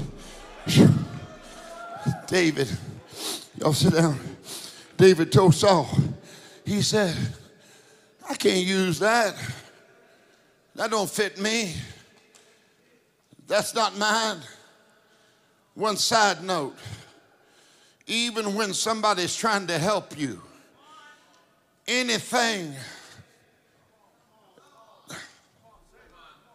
anything, tell your neighbor anything that would cause you to supersede your dependence on God anything that would make you stop relying on God, take it off.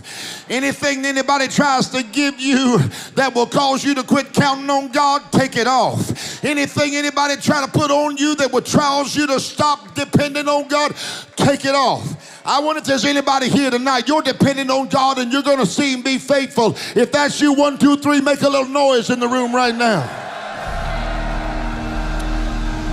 Hallelujah. Check it out. So David said, Take, get this off of me. See, see, Saul is head and shoulders bigger than every. What you want this? Come on, come and get it. I thought I was going to use this microphone, but I changed my mind. Everybody, give Josh a God bless you. No, come on, give him. Did y'all see him tie my shoe when I was praying? Give a man like that who serves a God bless you. That's a big deal. So David decided that he wasn't going to rely on Saul's armor. And the Bible said in chapter 17, verse 40, then David took his shepherd's staff. Then he selected five smooth stones. Ain't that a trip? He took that staff with his testimony carved in it. He recalled, I killed a lion here. Come on, church. I took a lion out here and I killed a bear here. Before he grabbed a weapon, before he grabbed a stone, he grabbed his testimony. And he said, If I brought that lion down, Goliath is about to fall. If I brought that bear down, Goliath is about to fall. If God helped me before, He's going to help me again. I need to tell somebody in this room that if God has done it before, you ought to give Him praise that He is able to do it again.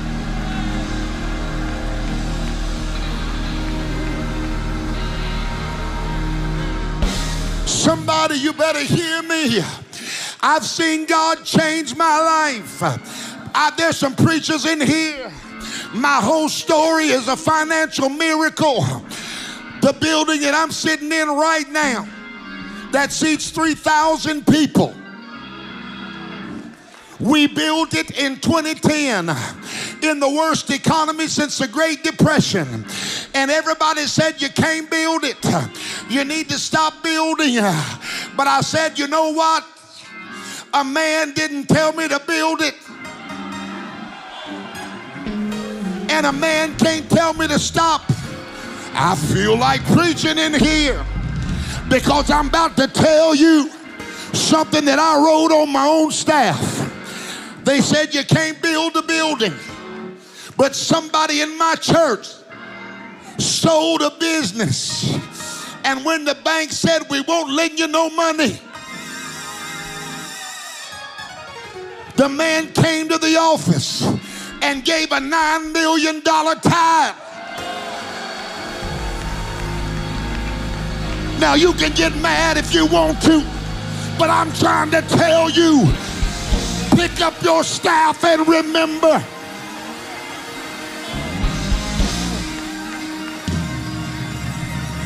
I need somebody to give God a 30 second praise right now.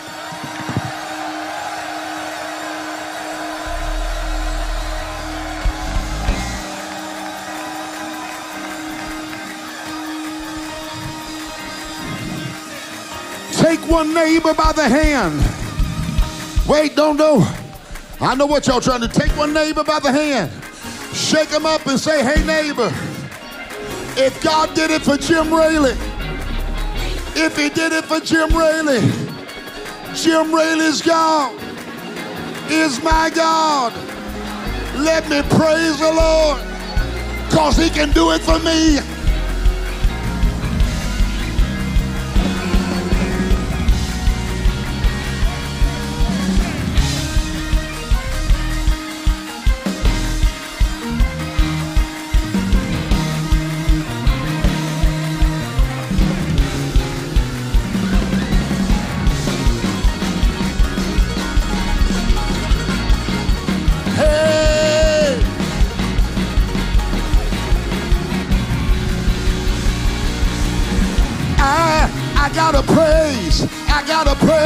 and I gotta let it out. I gotta pray. Hey, I, I gotta praise. I gotta praise and I gotta let it out. Yeah, yeah, yeah, yeah. Say I, I gotta praise. I gotta praise and I gotta let it out. Yeah, I gotta shout. I, I gotta, yeah. And I got, if you gotta run, run right now. Say yeah, yeah, yeah, yeah. Ah, I gotta shout. I gotta shout and I gotta let it out. I gotta shout.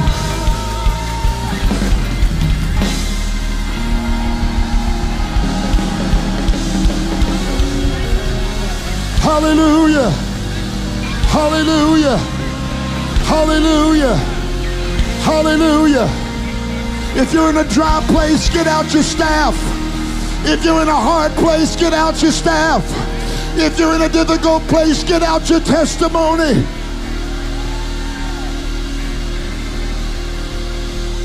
All right. Y'all sit down. Yeah, Lordy. I feel the Holy Ghost in here.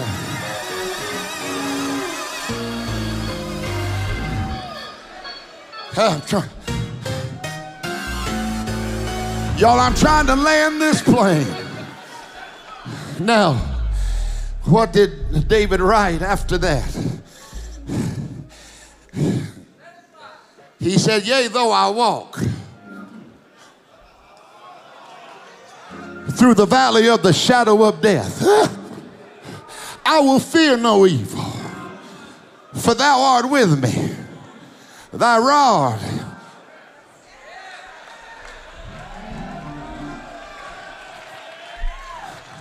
and thy staff, they comfort me. Thou preparest a table before me in the presence of my enemies. Surely goodness and mercy shall follow me all the days of my life, and I will dwell in the house of the Lord forever. He looked at his staff and he found comfort. Is there anybody, even if you're going through hell right now, you can look at how good God's already been and you can praise him right now?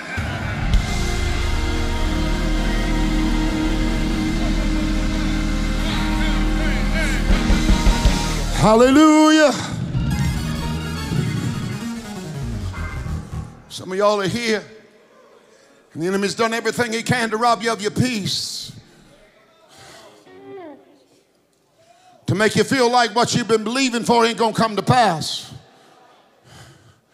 But I'm here tonight on assignment to tell you that your peace and power and comfort are linked to remembering and rehearsing God's goodness in times gone by. No need to panic.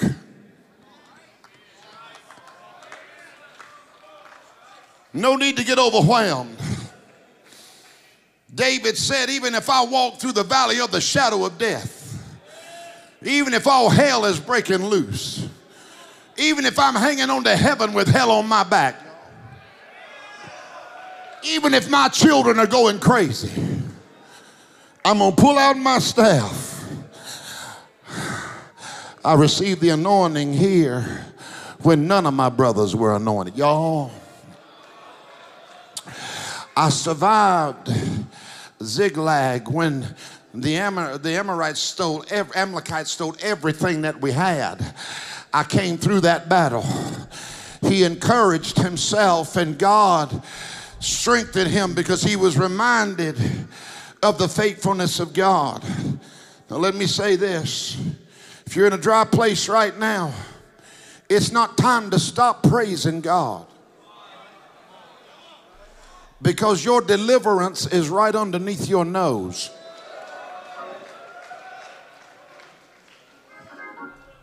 How many times as the devil thought he had you, but you had a little hallelujah in your mouth? You had a little thank you, Jesus. Come on.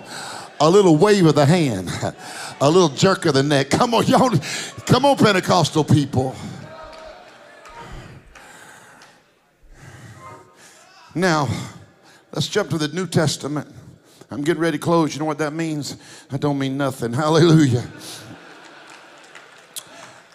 And Jesus called the 12 to himself and began to send them out two by two and gave them power over unclean spirits. He commanded, watch this, watch, Bring it on, bring it up. It's in Mark 6, 7, 8. It's a little down in the message. But it said he called the 12 to himself and began to send them out two by two and gave them, watch, the power to overcome unclean spirits. Here, here's, here it is, the eighth verse. He commanded them to take nothing for the journey except, y'all, except what? A staff. No bag, no bread, no copper, nothing in your money belt. He said, just take your staff, just take your testimony. Don't take a bag of bread, copper, or money. Just bring your staff. Tell your neighbor, say, neighbor, if I was you, I would keep my testimony with me. I would keep my testimony with me. Because you know what your testimony does? It makes you praise the Lord. And it confuses the enemy. Because the enemy will birth every conceivable problem and issue against you imaginable. But then you will pull out your spiritual staff and recall the faithfulness of God. And you'll begin to praise Him. And God shows up in your praise. Some of y'all say, Well, Apostle, I lost track of God. Where is He at? I'm about to give you God's address. You ready? The Lord inhabits the praises of His people. It's P.O. Box praise. If you want Him to show up, you praise Him. Some of y'all right now, you're at work and people are on your last nerve. You got a boss that's driving you crazy. You got people at work that are driving you crazy.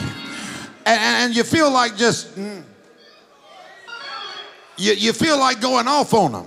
But I tell you, rather than do that, just stand up and walk away from your desk or wherever you're working. Go into the bathroom and get in the handicap stall because you know you're going to need some room. And just start praising the Lord and say, God, I got to praise you because if you bless me here, you're going to bless me there.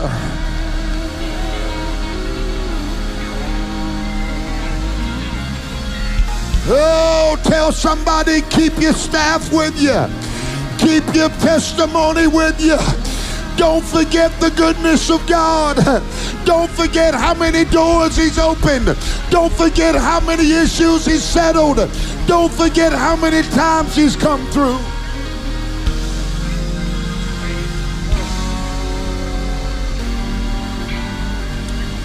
See, see, here's now, now the staff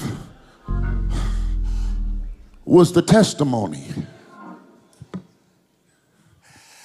I said the staff carried the testimony.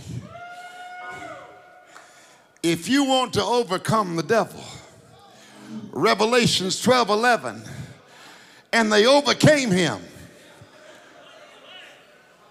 by the blood of the Lamb and the word of their testimony. Tell your neighbor, don't stop testifying because your testimony releases victory. Your testimony defeats the devil. Your testimony destroys the agenda of hell when you open your mouth and testify. So before I finish this up, holler at everybody around you and tell them, say, keep your staff with you. Tell them, say, carry your testimony with you. Now, if you're not ashamed of him, open your mouth and give him praise right now.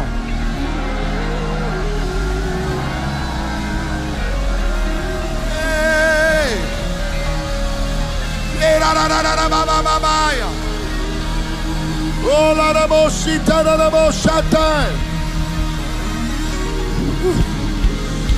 Now, in the Bible, the staff signified, y'all can be seated, several things. It signified the testimony, it carried the story, but the staff was also a symbol of leadership. One of the things the Bible declared and said was that each tribal prince, each tribal leader of the 12 tribes was given a staff with their names on it. And they would bring their staffs in alignment. Help me, Holy Ghost. Before God in the tabernacle, they would bring their testimony together. These 12 men, oh, y'all, would get together and collectively testify. I mean, one testimony defeats the devil. But when you get everybody in the room collectively testifying that he will make a way right out of no way, when you get everybody in your road testifying, that's when the enemy has to take a step back and say, I really can't have his children. I really can't have his marriage. I really can't have his purpose. There's something that happens when we come together and testify. In the tabernacle, they would bring their testimonies in alignment. Uh, and it would unlock the miracle zone. It would unlock the supernatural.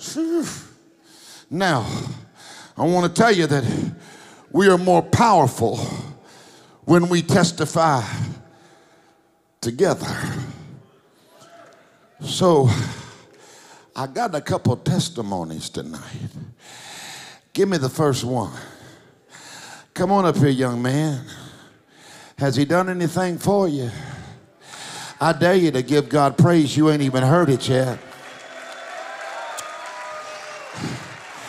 How many of you going to line your testimony up with his? And when he testifies, you're going to break your neck giving God praise for his and yours. Come on now. Tell, t- tell me your story, son. Testify. There's your staff. Um, I grew up as a preacher's kid. Um, started preaching when I was 15. Uh, backslid in 2002 because I was outwardly holy, but my heart was wretched. And uh, backslid, left the church, moved out of the country, uh, developed a horrible drug problem for 16 years. Um, backslid totally, changed my name, moved to a whole nother country, started hanging out with the most dangerous men on the planet. Um, ended up all my friends either dying or getting killed. Moved to Amsterdam, and uh, my mother was our pastor back in Alabama. And every Tuesday night, she would gather the women around my picture, and she would scream me home, and she would pray me home. But as I was in Amsterdam, God put a six foot five Dutch woman there at the at Grand Central Station to sing Have You Been to Jesus for the cleansing power? Are you washed in the blood of the Lamb?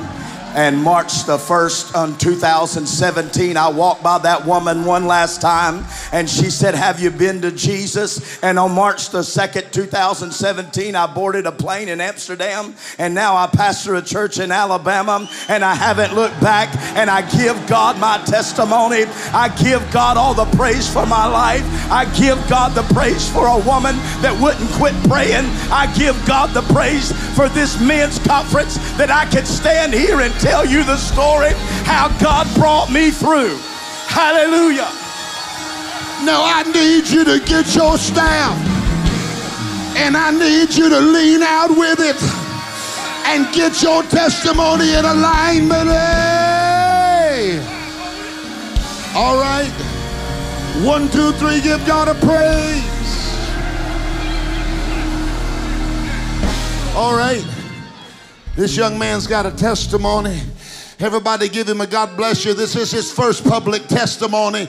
Come on, give him, give, give God praise for him. I grew up like they preached about last night. I didn't have a father growing up. I was running the streets, didn't have any direction on what I wanted to do. My grandmother tried to keep me, tried to keep me in church. But I, I was running from God. I, I was doing everything that everything that I shouldn't be doing. When I was when I was about 16 years old, I got I got hooked on drugs. I started off low, and I I just got I got to the worst drugs you could possibly think of. I was living on the streets. I was living. I was walking the roads. I had nowhere to go. My mom. My mom, she she tried she tried her best to get me from where I was at. I couldn't, I couldn't get away from the drugs. The devil had a hold on me. I was running. And in 2015, my mom passed away in a tornado. When she passed away, I was running further. I kept running and running. And then I went to prison. I went to federal prison, and my wife, my wife and me couldn't understand why this was happening. I had a son. I was getting sent to prison. In the midst of all that, these two pastors grabbed my wife. They held on to her, brought her to God. She brought me to God while I was gone in prison. She brought me to God, and I heard all about my pastors. And when I, when I finally got home and I came to church, I've done nothing but chase God. I've done nothing but go for God. I've gave him everything. And he's given me so much. He's gave me a daughter. He's, he's gave me a great life. And I praise him for everything he's done for me. Everything. And let me tell you something, son. You ain't seen nothing yet. God's gonna bless you. God's gonna open doors for you. God's gonna give you everything back you lost. Oh, there's power in your story. Oh, somebody give the Lord a crazy praise. Somebody lean in. Somebody lean in. Somebody lean in. Somebody lean in. I need somebody to lean in with your testimony right now. Hey, come on, son. Talk to us. Everybody give this young man a God bless you. One, two, three, give him a God bless you. Well, just like Chris, I grew up with a very difficult household. I grew up with a very abusive father. Um, at the age of 13, I started struggling with homosexuality. From the age of 17, I got thrown out of my home and I started struggling with addiction. Um, at the age of 18, I moved to Atlanta, Georgia, and I got addicted hard. Then I get got um, I stepped into uh, male prostitution. Then I signed my first contract with porn.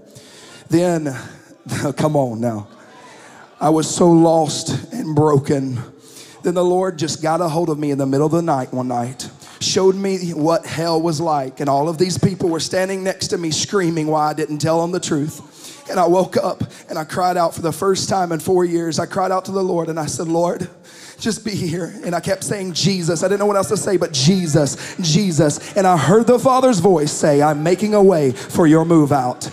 I'm making a way for your move out. Three days later, I went and I came back to church and I gave my life to the Lord. And ever since then, I have been chasing after the Lord. I have about 15 young men that I disciple out of addiction, pornography, homosexuality. Homos- Come on, y'all. Come on. Your children ain't too far, baby. Your children ain't too far, baby. Hey, your prodigal is coming home. Hey, I want to tell you this. My mama, my mama, just like you, Pastor, my mama didn't give up. I was living with a man and I was about to get married. My mama, out of everybody else in my family, my mama showed up. She went and put Sharpie scripture all over her body in case she came into that home and she declared the truth of the Lord. And listen, when she left that house, my mama's handprints were on the wall. My boyfriend at the time looked at me. He said, What is that? I said, That's my mama praying. That's my mama praying. Let me tell you something. A praying mama will move mountains. A praying mama. Oh. All right, watch this though. One more time, one more time, Bishop. I'm so sorry.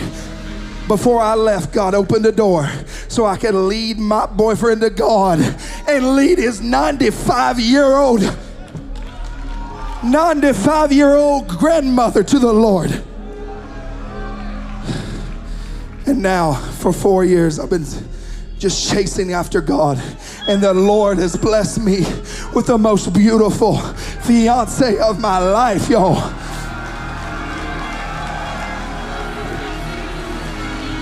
Wait a minute. Come up here, daughter. Wait, wait, wait. I need somebody that will lean in. Because here comes the bride. I said, Here comes the bride. I'm telling you, God will make a way. Somebody needs to get out of your seat right now. Somebody needs to run out of your seat. If you got a testimony, you need to run out of your chair and give God some praise.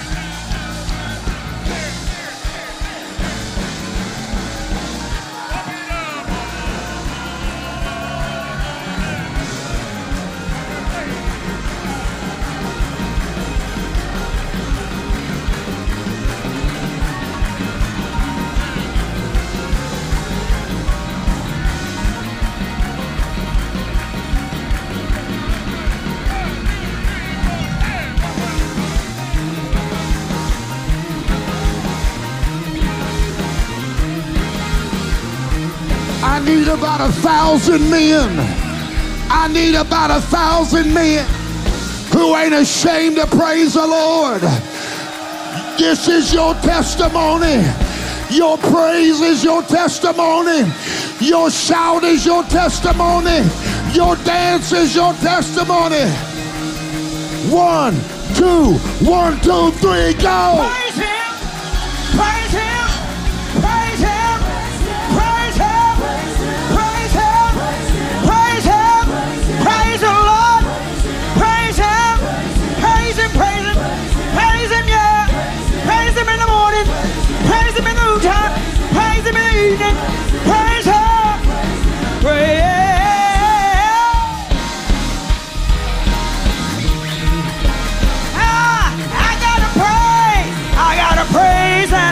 Get it out.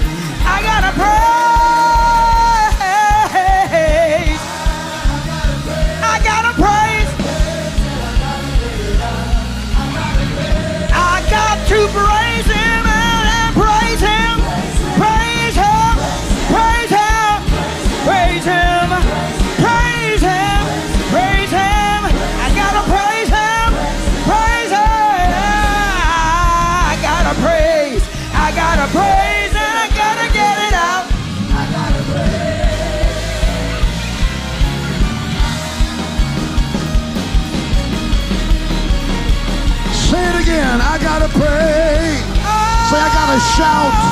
Ah, I gotta shout. I gotta shout. And I gotta get it out. I gotta, I got to shout his name. Oh, I, I gotta shout. I gotta shout. I gotta shout and I gotta let it out. I gotta shout. I gotta dance, dance. Ah, I gotta dance.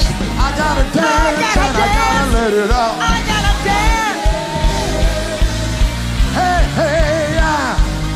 Dance. I gotta dance and I gotta let it out. I gotta dance. Shout. I gotta shout. Ah, I gotta shout. Yes, I do. Yes, I do. I gotta shout unto God. Shout unto God. Shout unto God. Shout unto God. Somebody lean in. Somebody lean in. Lean in with your praise. Lean in with your praise. What are you doing? I'm leaning on my praise. I'm leaning on my testimony. I'm leaning on the faithfulness of God.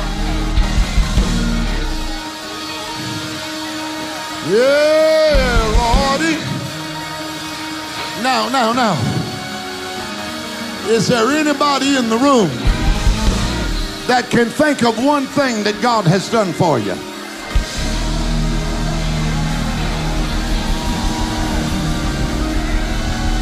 I said, can you think of one thing that God has done for you?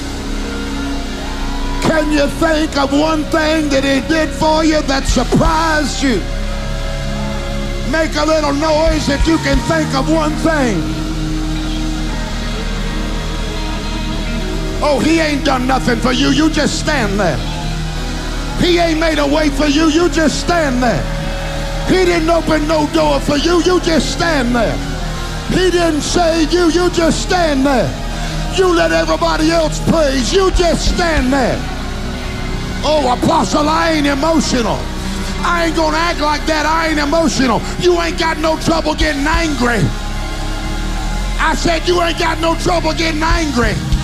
You ought to get crazy and give God a praise up in here right now.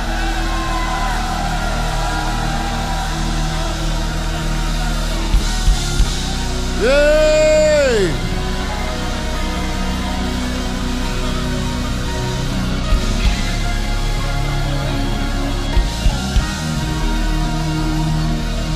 For every mountain you brought me over,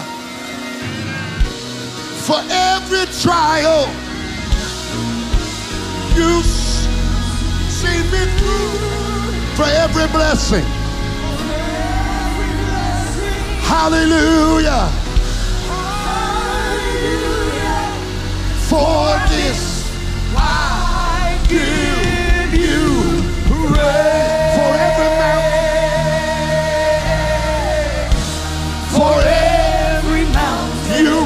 Me over. You brought me over. For every trial. For every trial. You've seen me through. You've seen me through. For every blessing. For every blessing. My soul says hallelujah. Hallelujah. For this I give you. Come on, mister, throw your hands in the air. Say for every mountain. You brought me over. For every tribe. You song me to for. Every blessing. Hallelujah. Hallelujah. Y'all sing it again. Something's breaking in this atmosphere right now. Say every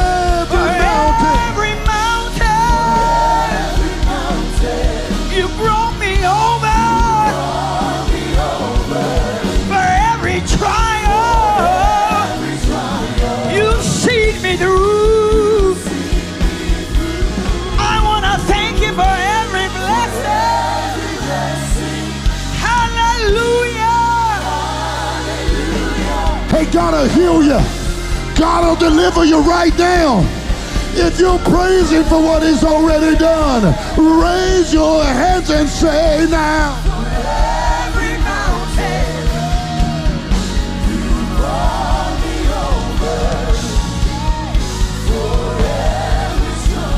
You. You sing, Judy.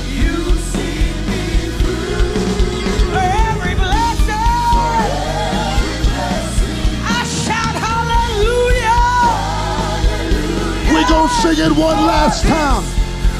And I want every man to raise your hands and declare for every mountain.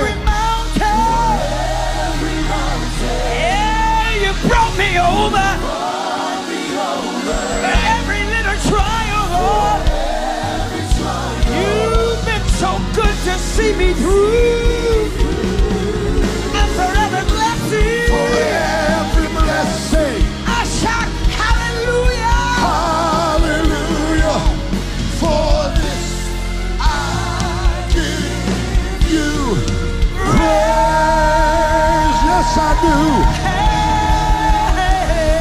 I do.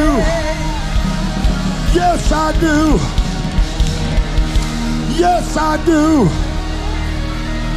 Yes, I do. Yes, I do.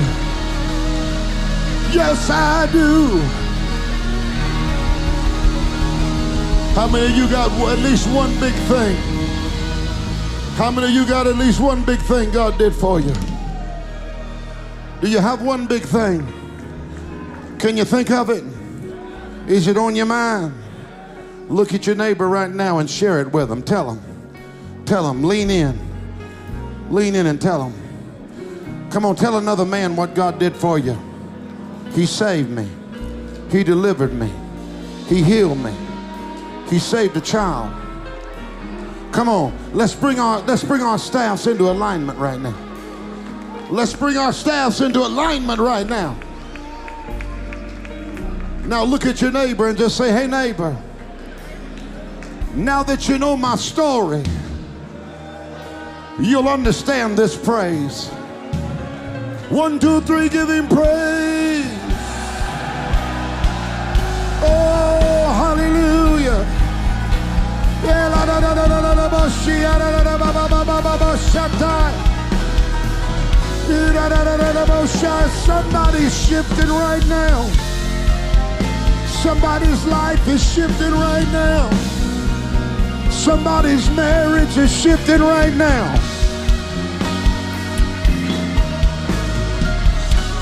Y'all, I've, I've got a little bit more to do, but I'm going to try to land this plane. But I'm going to ask you to do something. I want 100% of the men that will to come right here to the front, or at least in the aisles. Do everything you can to get up here. Come on. We've been in the middle of revival. I've never seen so many miracles in our churches. We have eight campuses, and every one of them is in an outpouring of the Holy Spirit. We've had several people with stage four cancer, and the cancer has completely left their body. We had a man, we had a man come with stage four cancer, melanoma. It was from his neck to his waist. And we've been having outpourings of the Holy Spirit. Anybody says that you can't build a significant ministry with a move of God, they're lying to you. You say, Well, Apostle, you got that radical church. Aren't you afraid you're going to offend the seeker? I don't want to offend the seeker. I want to make that sucker squirm. Come on, somebody. I want him to come in my church and say, I ain't never seen nothing like that before. But this man with stage four cancer, we prayed for him. We had a baptismal service. We baptized, I don't want to blow that, but I bet 400 people or more. And he was set to be baptized, and we had to baptize him first because they said that he could not get in any water that had any kind of contaminant in it or anybody that had, something that, on their body. He had to be baptized first. So we baptized him first. And then we prayed healing over his body. And we bound cancer and we rebuked it in the name of Jesus. And there was a woman that had been in our services, our revival services, three weeks before. And I testified to him that God healed her of stage four cancer. And the doctor first said the cancer is asleep. And the next time she went back, he said, I don't understand it, but the cancer is gone. We can't find it anywhere. So what did I do? I just got my trusty staff out. And I just testified to brother. And I let him know that it's already happened. We've already seen stage four completely disappear from a woman's body. And the doctors are without any kind of explanation. Well, we baptized him, prayed over him, and on Easter Sunday, he came back and somebody came up and whispered in my ear, house is packed with thousands of people. And they said, you remember that guy that was baptized and he had stage four cancer? He just testified to me that he went back to the doctor last week. There was nothing on his body whatsoever. The melanoma was gone. He had been completely healed. You see, my testimony changed his life, and his testimony is now changing somebody else's life. Does anybody have a testimony that might shift somebody's season?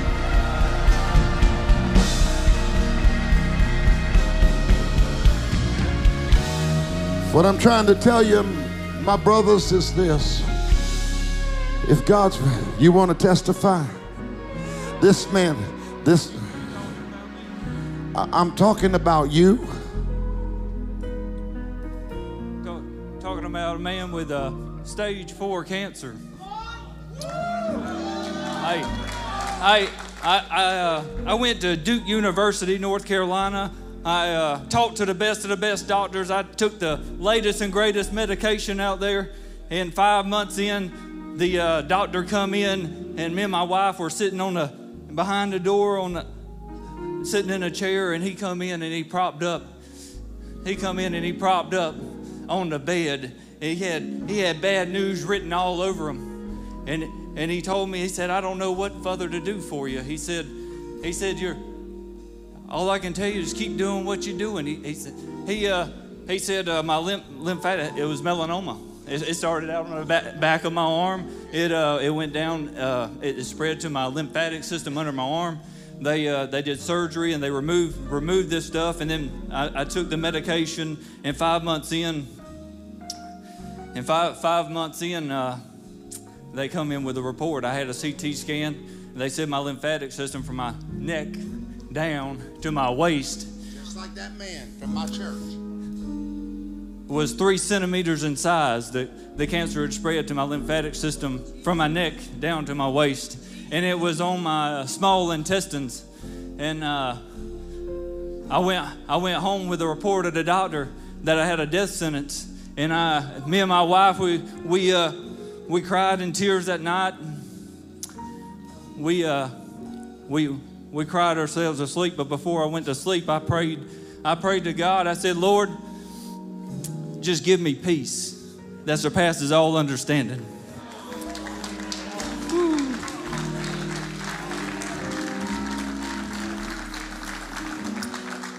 At nine o'clock at night, I went to bed on that.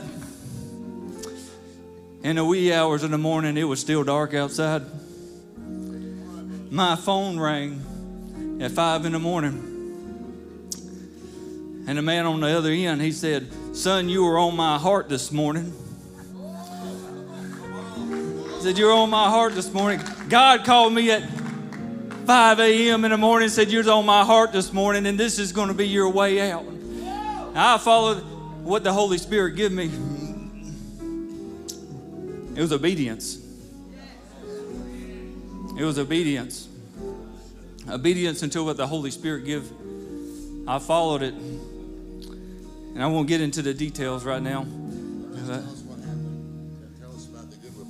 Amen. Two two months later, I went back for my uh, follow up, and the uh, the same doctor came in with that piece of paper. He said, uh, "I." My, my three my three centimeter uh, lymph nodes that were in my body. He said, uh, I can't even find them.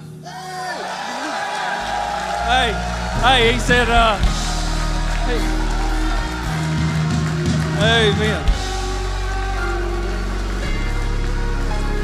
So, so you're telling us that you went from death, certain death, to abundant life. Eternal life.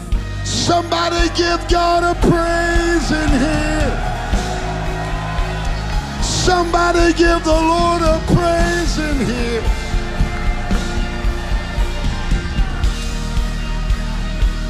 So the Bible says that in Hebrews 11 21,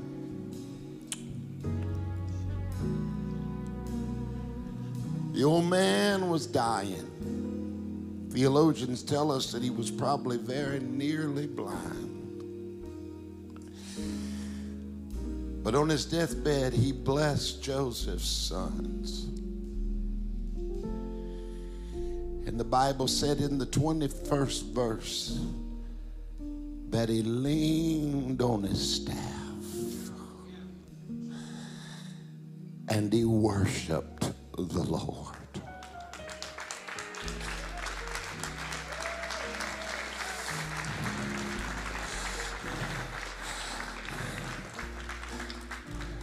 I'm sure he leaned here and said, This is where God came through for me here when my brother wanted to kill me. He could feel where he had carved it.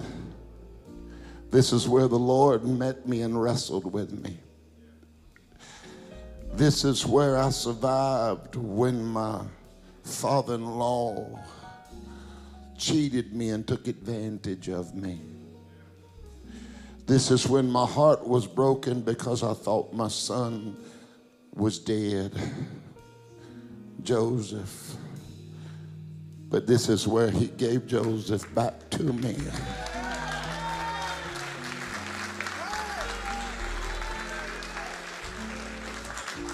Somebody's about to get something back you thought the devil stole from you.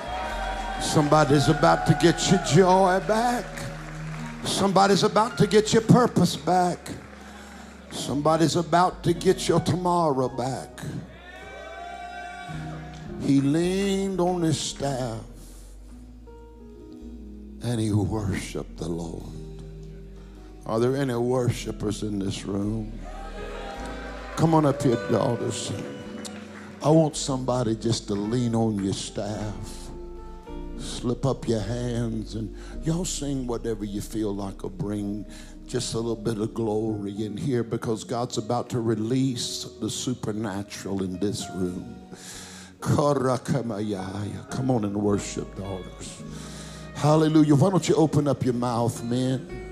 Some of y'all say, Well, Apostle, I'm I'm thinking of praise. You don't you don't think of praise, you speak one.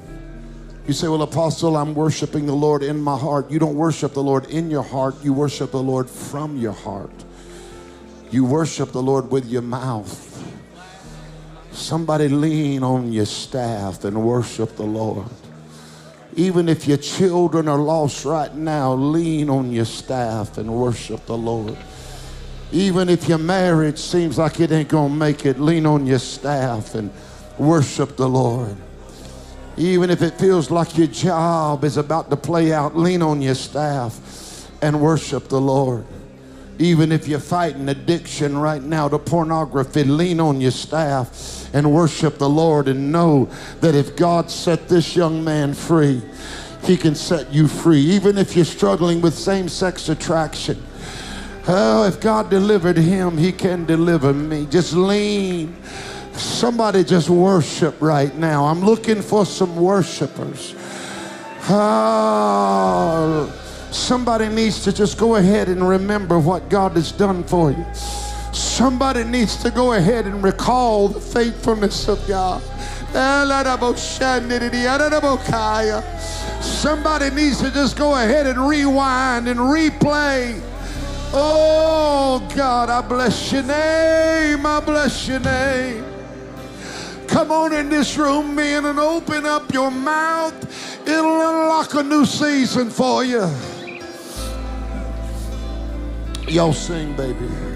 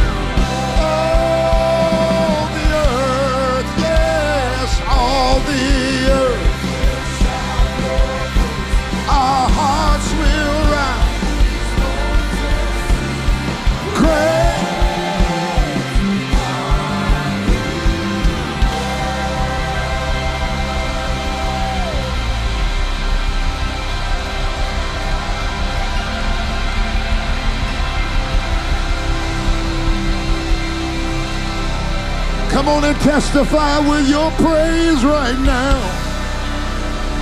Come on and testify with your shout right now. Come on and testify, testify, testify.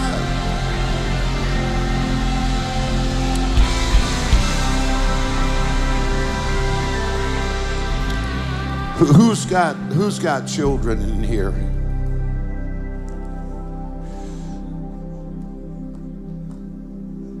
Do you know what the man did? The Bible said he leaned on his staff and he blessed his children. His testimony became a blessing to his children. I declare that your testimony is going to become a blessing to your children and your children's children. Yeah. You're not going to be ashamed of it. You're going to be thankful for it. Yeah. Somebody who believes that your testimony can bless your family, give him a praise right now.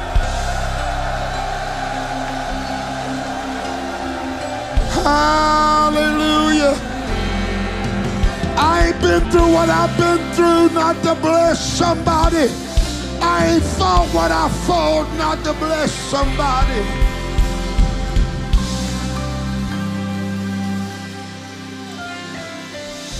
Men in this room, people in this room may not understand your worship. But it's because they don't know the His story behind your story.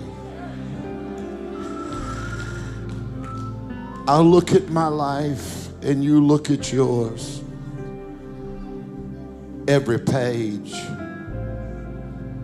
every day, uh, time and again, he came through for old Jim Raley. And my story is all wrapped up in his story. Had it not been for the Lord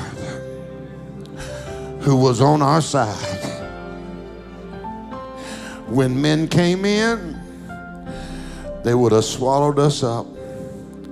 But the psalmist said, My soul escaped just like a bird out of the snare of the fowler. I'm almost done. I need to take my seat. But I want to tell you that if you will remember that your story cannot be told without his story, you're going to make it. And when you remember that your story is all wrapped up in his story, then you will make history. Raise up your hands. I declare there are history makers in this room. I declare that your testimony does not die with you, but it is generational if Jesus tarries.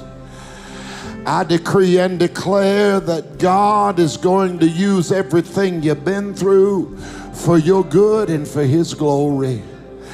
I decree and declare, oh, I feel this in my spirit. I hear the Lord say, even now, as they're reflecting my goodness, things are shifting. Sons are shifting right now, daughters are shifting, marriages are shifting right now.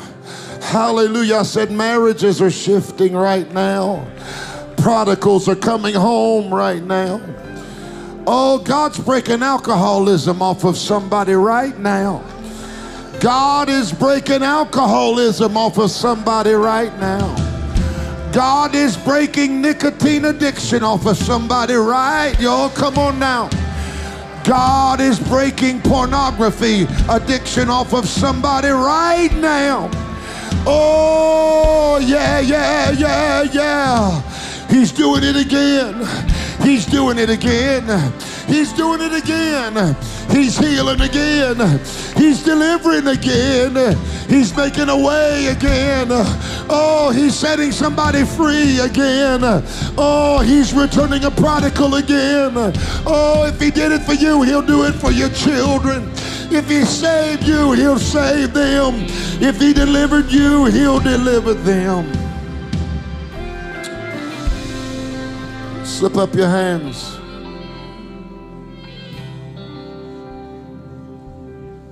I decree and declare that you are marked for this moment, by this moment, and you will never be the same again. When the enemy comes against you, you will remember your story. I can't get away from this. Somebody is getting delivered from alcoholism right now. God is delivering somebody from alcoholism right now. If you need to be delivered from anything, you just receive it right now. This is the atmosphere of angels. I said, This is the atmosphere of angels. This is the atmosphere of miracles right now. I need somebody to give the deliverer a great big praise. Give him a thank you right now. Hallelujah, hallelujah. So I throw up my hands and praise you